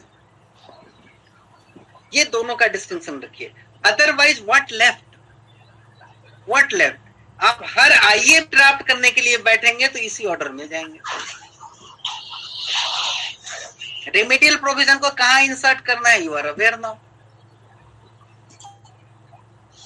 so in nutshell जहाँ पर डाइवर्स ड्राफ्टिंग के लिए इतनी मोटी मोटी बुक एंड प्लेडिंग के लिए लोग घूम रहे होते हैं, और बहुत सारे चीज़ होते हैं, परेशानी और पजल बना हुआ होता है, मैंने एक मास्टर की डेवलप करने का एक अटेम्प्ट लिया which works and now you people are convince with master की कि नो फोकस जो है ना ड्राफ्टिंग के फॉर्मेट पे जाने है तो सिर्फ़ एसएलपी पे चलो। और दूसरी बात यह है कि इंग्रेडिएंट फोकस करो ना। जो स्पिरिट है ड्राफ्टिंग का रेदर देन फॉर्मेट सो ये पाँच कंक्लूजन जो है ना, जो डिफरेंट डाइवर्स है, उसको आप लोग ध्यान में रखिएगा। ऑटोमेटिकली आपका ड्राफ्टिंग शार्प हो जाएगा। बहुत ज़्यादा, बहुत कुछ मैं अपना एग्ज़ाम्पल देना नहीं चाहता और लेकिन एक चीज़ दिखाने के लिए जो मैंने दिखाया कि मिनिमम ड्राफ्टिंग में किया, क्योंकि बहुत सारी ड्राफ्टिंग मैंने देखे हैं कि एक एक ड्राफ्टिंग पंद्रह पंद्रह पेज की होती है, जो लोग लिखते हैं। पीछे से आवाज़ आता है, सर सीट सर सीट मतलब मेरी धड़कने इतनी बढ़ जाती थी एग्ज़ाम में। क्या बताऊ मैं? आधे घंटे के बाद से ही, सर सीट वो झटका लगता है करंट का झटका कि ये हो क्या रहा है? बट मुझे अपने आप पे भरोसा था कि चलो क्वेश्चन का आंसर मैं दे रहा हूँ and it is converted into the marks and that is the front of you तो मैंने बहुत सारे बहुत मैंने सुना, लोगों लोगों ने ये कहा, अरे यार, इतने कम पेज में नंबर कहाँ से मिलेगा? तुमने तो लिखे ही नहीं. But I got the and that is in front of you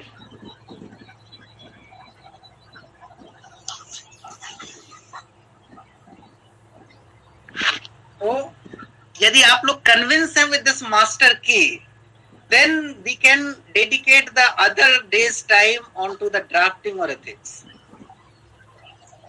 Writ और पीआईएल प्लीज़ ज़रूर कर दीजिएगा फिर जैसा आप चाहें। नहीं चलिए writ and PIL and transfer petition और contempt is available let us conclude tomorrow yes sir and next three days move on for the drafting and others yes sir yes sir ठीक है? चलिए ठीक है तो सर एक Anupam sir ने बोला था बर्निंग इशू के ऊपर सिविल अपील आ सकती है. What do you think is the burning issue right now election नहीं election is not the burning issues and concern regarding appeal जो रिलेवेंट लास्ट वन ईयर में एक इश्यूज़ रहा हो अपील को लेकर के डोंट वरी जो भी आएगा ना बहुत क्लियर आएगा। पहले से भी पता चल के बहुत ज़्यादा एडिशन नहीं मिलना है। We have very short time ठीक है। बट ये है कि हर एक मिनट को थोड़ा संजोए और अच्छे तरीके से मार्क्स में कन्वर्ट करने के लिए वेल प्रिपेयर रहे। यू नो सरप्राइज़ जो है ना एग्जामिनेशन हॉल में नहीं मिलना चाहिए। This is the first achievement in to the exam कभी कोई क्वेश्चन देख करके सरप्राइज़ मिलता है ये मिलता है नहीं वो नहीं, और कभी भी मतलब ये नहीं जो क्वेश्चन में कहा हुआ है गलत भी कहा है then follow the instruction simply Why should I apply the brain? And why should I overrule and challenge them? So instruction and questions का समझना ज़रूरी है कि उन्होंने कौन सा बोर्ड क्रिएट किया हुआ है और स्ट्रेटेजिकली एकदम सेंटर पे ऑप्टिमली कैसे हिट करें? That's your job and our job to do that ठीक है? So let us find up for the today everyone have a good day and will see you in the morning early morning बहुत लोगों के लिए परेशानी का reason है साढ़े पाँच बजे उठ पाना बट स्टिल एक डिसिप्लिन तो आएगा तैयारी के लिए ही सही उठ तो जाए। सर आपके लेक्चर से बहुत क्लियरिटी आई है। अरे सर मुझे भी मुझे भी। I can say for myself because मैंने अटेम्प्ट किया था लास्ट ईयर बाकी सब में अच्छा मिला इसमें में रह गया। And I can now see के why I got this much. Less. Uh, last year, last, मैं, मैं आपको एक बात बताऊँ मैं आपको एक बात बताऊँ। मैं इस कंक्लूजन तक पहुँचने के लिए बहुत सारे सेक्रीफाइसेस किए। मैंने अटेम्प्ट जो दिए हैं ना ये वार के डेडिकेटेडली मैंने दिए जान बुझ करके जानते हुए भी कि मेरा रिज़ल्ट यहाँ फंसेगा। For the purpose of testing I move great sir हमारा रिस्क कोई पागल आदमी ही ले सकता है। कुछ मुझे एक चीज़ समझना था कि आखिर मेरी सोच और इनकी सोच में कहा अंतर है? It was the mind game that I am able to sync with his mind और that's why I am able to dare to express for you with all this mind notes but more thing is this in between मेरे पास बहुत सारे लोगों ने अपनी RTI copy निकाली और दिखाई। और उस आरटीआई कॉपी में उन्होंने बहुत ज़्यादा कुछ लिखा बहुत कुछ लिखा बट फिर भी रिज़ल्ट में मार्क्स कम मिले उसका रीजन भी मैंने ढूँढने की कोशिश की जो आज मैंने यहाँ रिफ्लेक्ट किया कि उ, उनको एक चीज़ चाहिए आप सारा चीज़ दे दीजिए इसका मतलब क्या निकलता है कि आप हनुमान जी हैं कि पूरा पहाड़ी उठा के लाके दे देंगे अरे यार संजीवनी चाहिए तो संजीवनी दो ना। So point to point, it's also an art and optimization of time. हर कोई एग्जामिनर यूनानिमसली हर बार हर लेक्चर में एक बात कहते हैं कि बहुत ज़्यादा मत लिखो to the point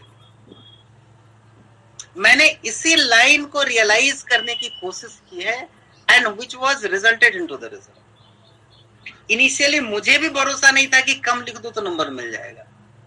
But not in the one paper in all the paper I मैंने, मेरा जो लिखने का जो तरीका है कैन यू इमेजिन कि हद से ज़्यादा कोई लिखेगा तो किस पेपर में लिखेगा? इट वॉज़ द ड्राफ्टिंग नौ पेज से लेकर के बारह पेज के अंदर मेरे सारे पेपर्स कंक्लूड हो जाते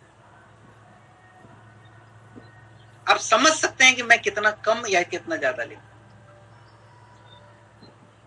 Not only in one paper i am telling you not only in one paper even 2019 paper i was in regulation even to 2021 i was in regulation so regulation में होने के बावजूद भी मैंने ये कहा कि मुझे एक पेपर नहीं देना मैं पूरा पेपर दूँगा मैंने सारे पेपर में हमेशा पास किए हैं that's why I was in the regulation ना only for the sake of experiment and uh, taking the risk. And achieved it. That's why i have a dare to share with you. और बहुत सारी copy देखी और बहुत सारी copy देखने के बाद बहुत कुछ सामने आया कि बहुत ज़्यादा लिखना भी कई बार ठीक नहीं हो। दो लेवल पर टाइम की कंफ्यूजन है आपके ब्रेन का कंफ्यूजन है क्लियरिटी नहीं आती है। क्योस मन में बना रहता है अनसर्टिनिटी है अपने पैरामाउंट पे होता है। सो so, जितना भी करें मैंने इवन हम ये नहीं करें हंड्रेड परसेंट इवन एक क्वेश्चन के लिए ही सही एसएलपी के लिए ही सही एक क्वेश्चन आप सटीक लिख करके आइए। एटलीस्ट बीस नंबर उधर अवार्ड तो होगा पंद्रह नंबर ये अवार्ड तो होगा। मान लीजिए कि पाँच क्वेश्चन लिखने हैं चार क्वेश्चन लिखने हैं या पाँच पाँच में से तीन मैंने सटीक लिखा और दो जैसे तैसे लिख दिया। मेरा आंसर सीट खुद ही रिफ्लेक्ट करता है। दो में बीस बीस मिलते हैं। और बाकी दो में पंद्रह पंद्रह मिलते हैं। यहाँ बीस नंबर का ही क्वेश्चन है। आप इमेजिन कीजिए कि तीन में पंद्रह पंद्रह लेकर के आइए और बाकी दोनों में दस दस ले लीजिए। कितना आएगा? Sixty five plus am I right और रॉन्ग करेक्ट यानी सब में आप दस दस भी यदि लेकर के आते हैं सब में अक्रॉस फिर भी आप फिफ्टी मार्क्स पार हैं।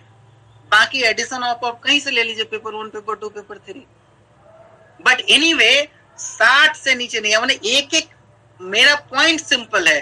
आप इंग्रेडिएंट टू इंग्रेडिएंट फोकस कीजिए, यानी एस एल पी रेट और उसके बाद अपील। ये तीनों आप फोकस कीजिए ना, तीन चीज़ पे। तीन चीज़ लिख करके आएँगे।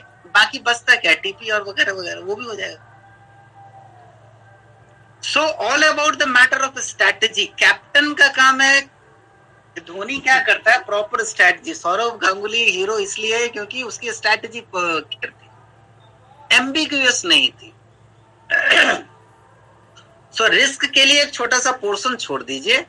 लेकिन मेरा मानना यह है कि 20 परसेंट सिलेबस पे फोकस करके आप 80 परसेंट मार्क्स कंफर्म कर लेते हैं। एम आई राइट और रॉन्ग हंड्रेड परसेंट तो उसी स्ट्रेटजी के लिए फोकस पॉइंट आपका जो स्ट्रॉन्गेस्ट पॉइंट है वहाँ पर फोकस कीजिए उसको मार्क्स में ट्रांसलेट कीजिए और रेस्ट छोड़ दीजिए रिस्क के लिए तो चलेगा उधर भी बढ़िया तब भी ठीक है। से, सेफ़ साइड 60 सारे पेपर में कंफर्म मिले। सर एक एक डाउट है। हाँ बड़े जैसे एसएलपी में आता है ट्वेंटी के अंदर की डिटेल मेमो है sir position of the party position of party पूरा हम रिफ्लेक्ट करेंगे ना सर नहीं पूरा आप मत कीजिए। रफली उनको दिखलाइए कि अवेयर अबाउट ऑल कोई गलत चीज़ नहीं होनी चाहिए एक फेयर चीज़ होनी चाहिए कि रिफ्लेक्शन आ जाए। उस पर बहुत ज़्यादा इंटरटेन नहीं बहुत ये सब फॉर्मल पार्ट है। देखिए भरत जी ये कौन कहाँ कहाँ कैसे था ये फॉर्मल पार्ट ये बड़े आराम से निकल जाता अच्छा ये यहाँ था यहाँ था यहाँ था, आराम से निकल जाता लेकिन मेन ड्राफ्टिंग और पजल का पार्ट है, वो आपको ग्राउंड बनाने में क्वेश्चन और सिनॉप्सिस बनाने में जाएगा। तो इस तीन पर स्पेशल और सबसे ज़्यादा पे यही करेगा। है ना? तो वो एक फॉर्मल वे में इवन फॉर्मेट बना करके भी आप छोड़ भी दीजिएगा ना, खाली। तब भी उनको लग जाएगा कि ये जानता That's it. चलें. See you tomorrow and have a nice day. Thank you. Thank you, sir. Thank you, sir. Thank you, sir. Thank you, sir. Thank you, sir. Good day. Thank you, sir. Thank you so much.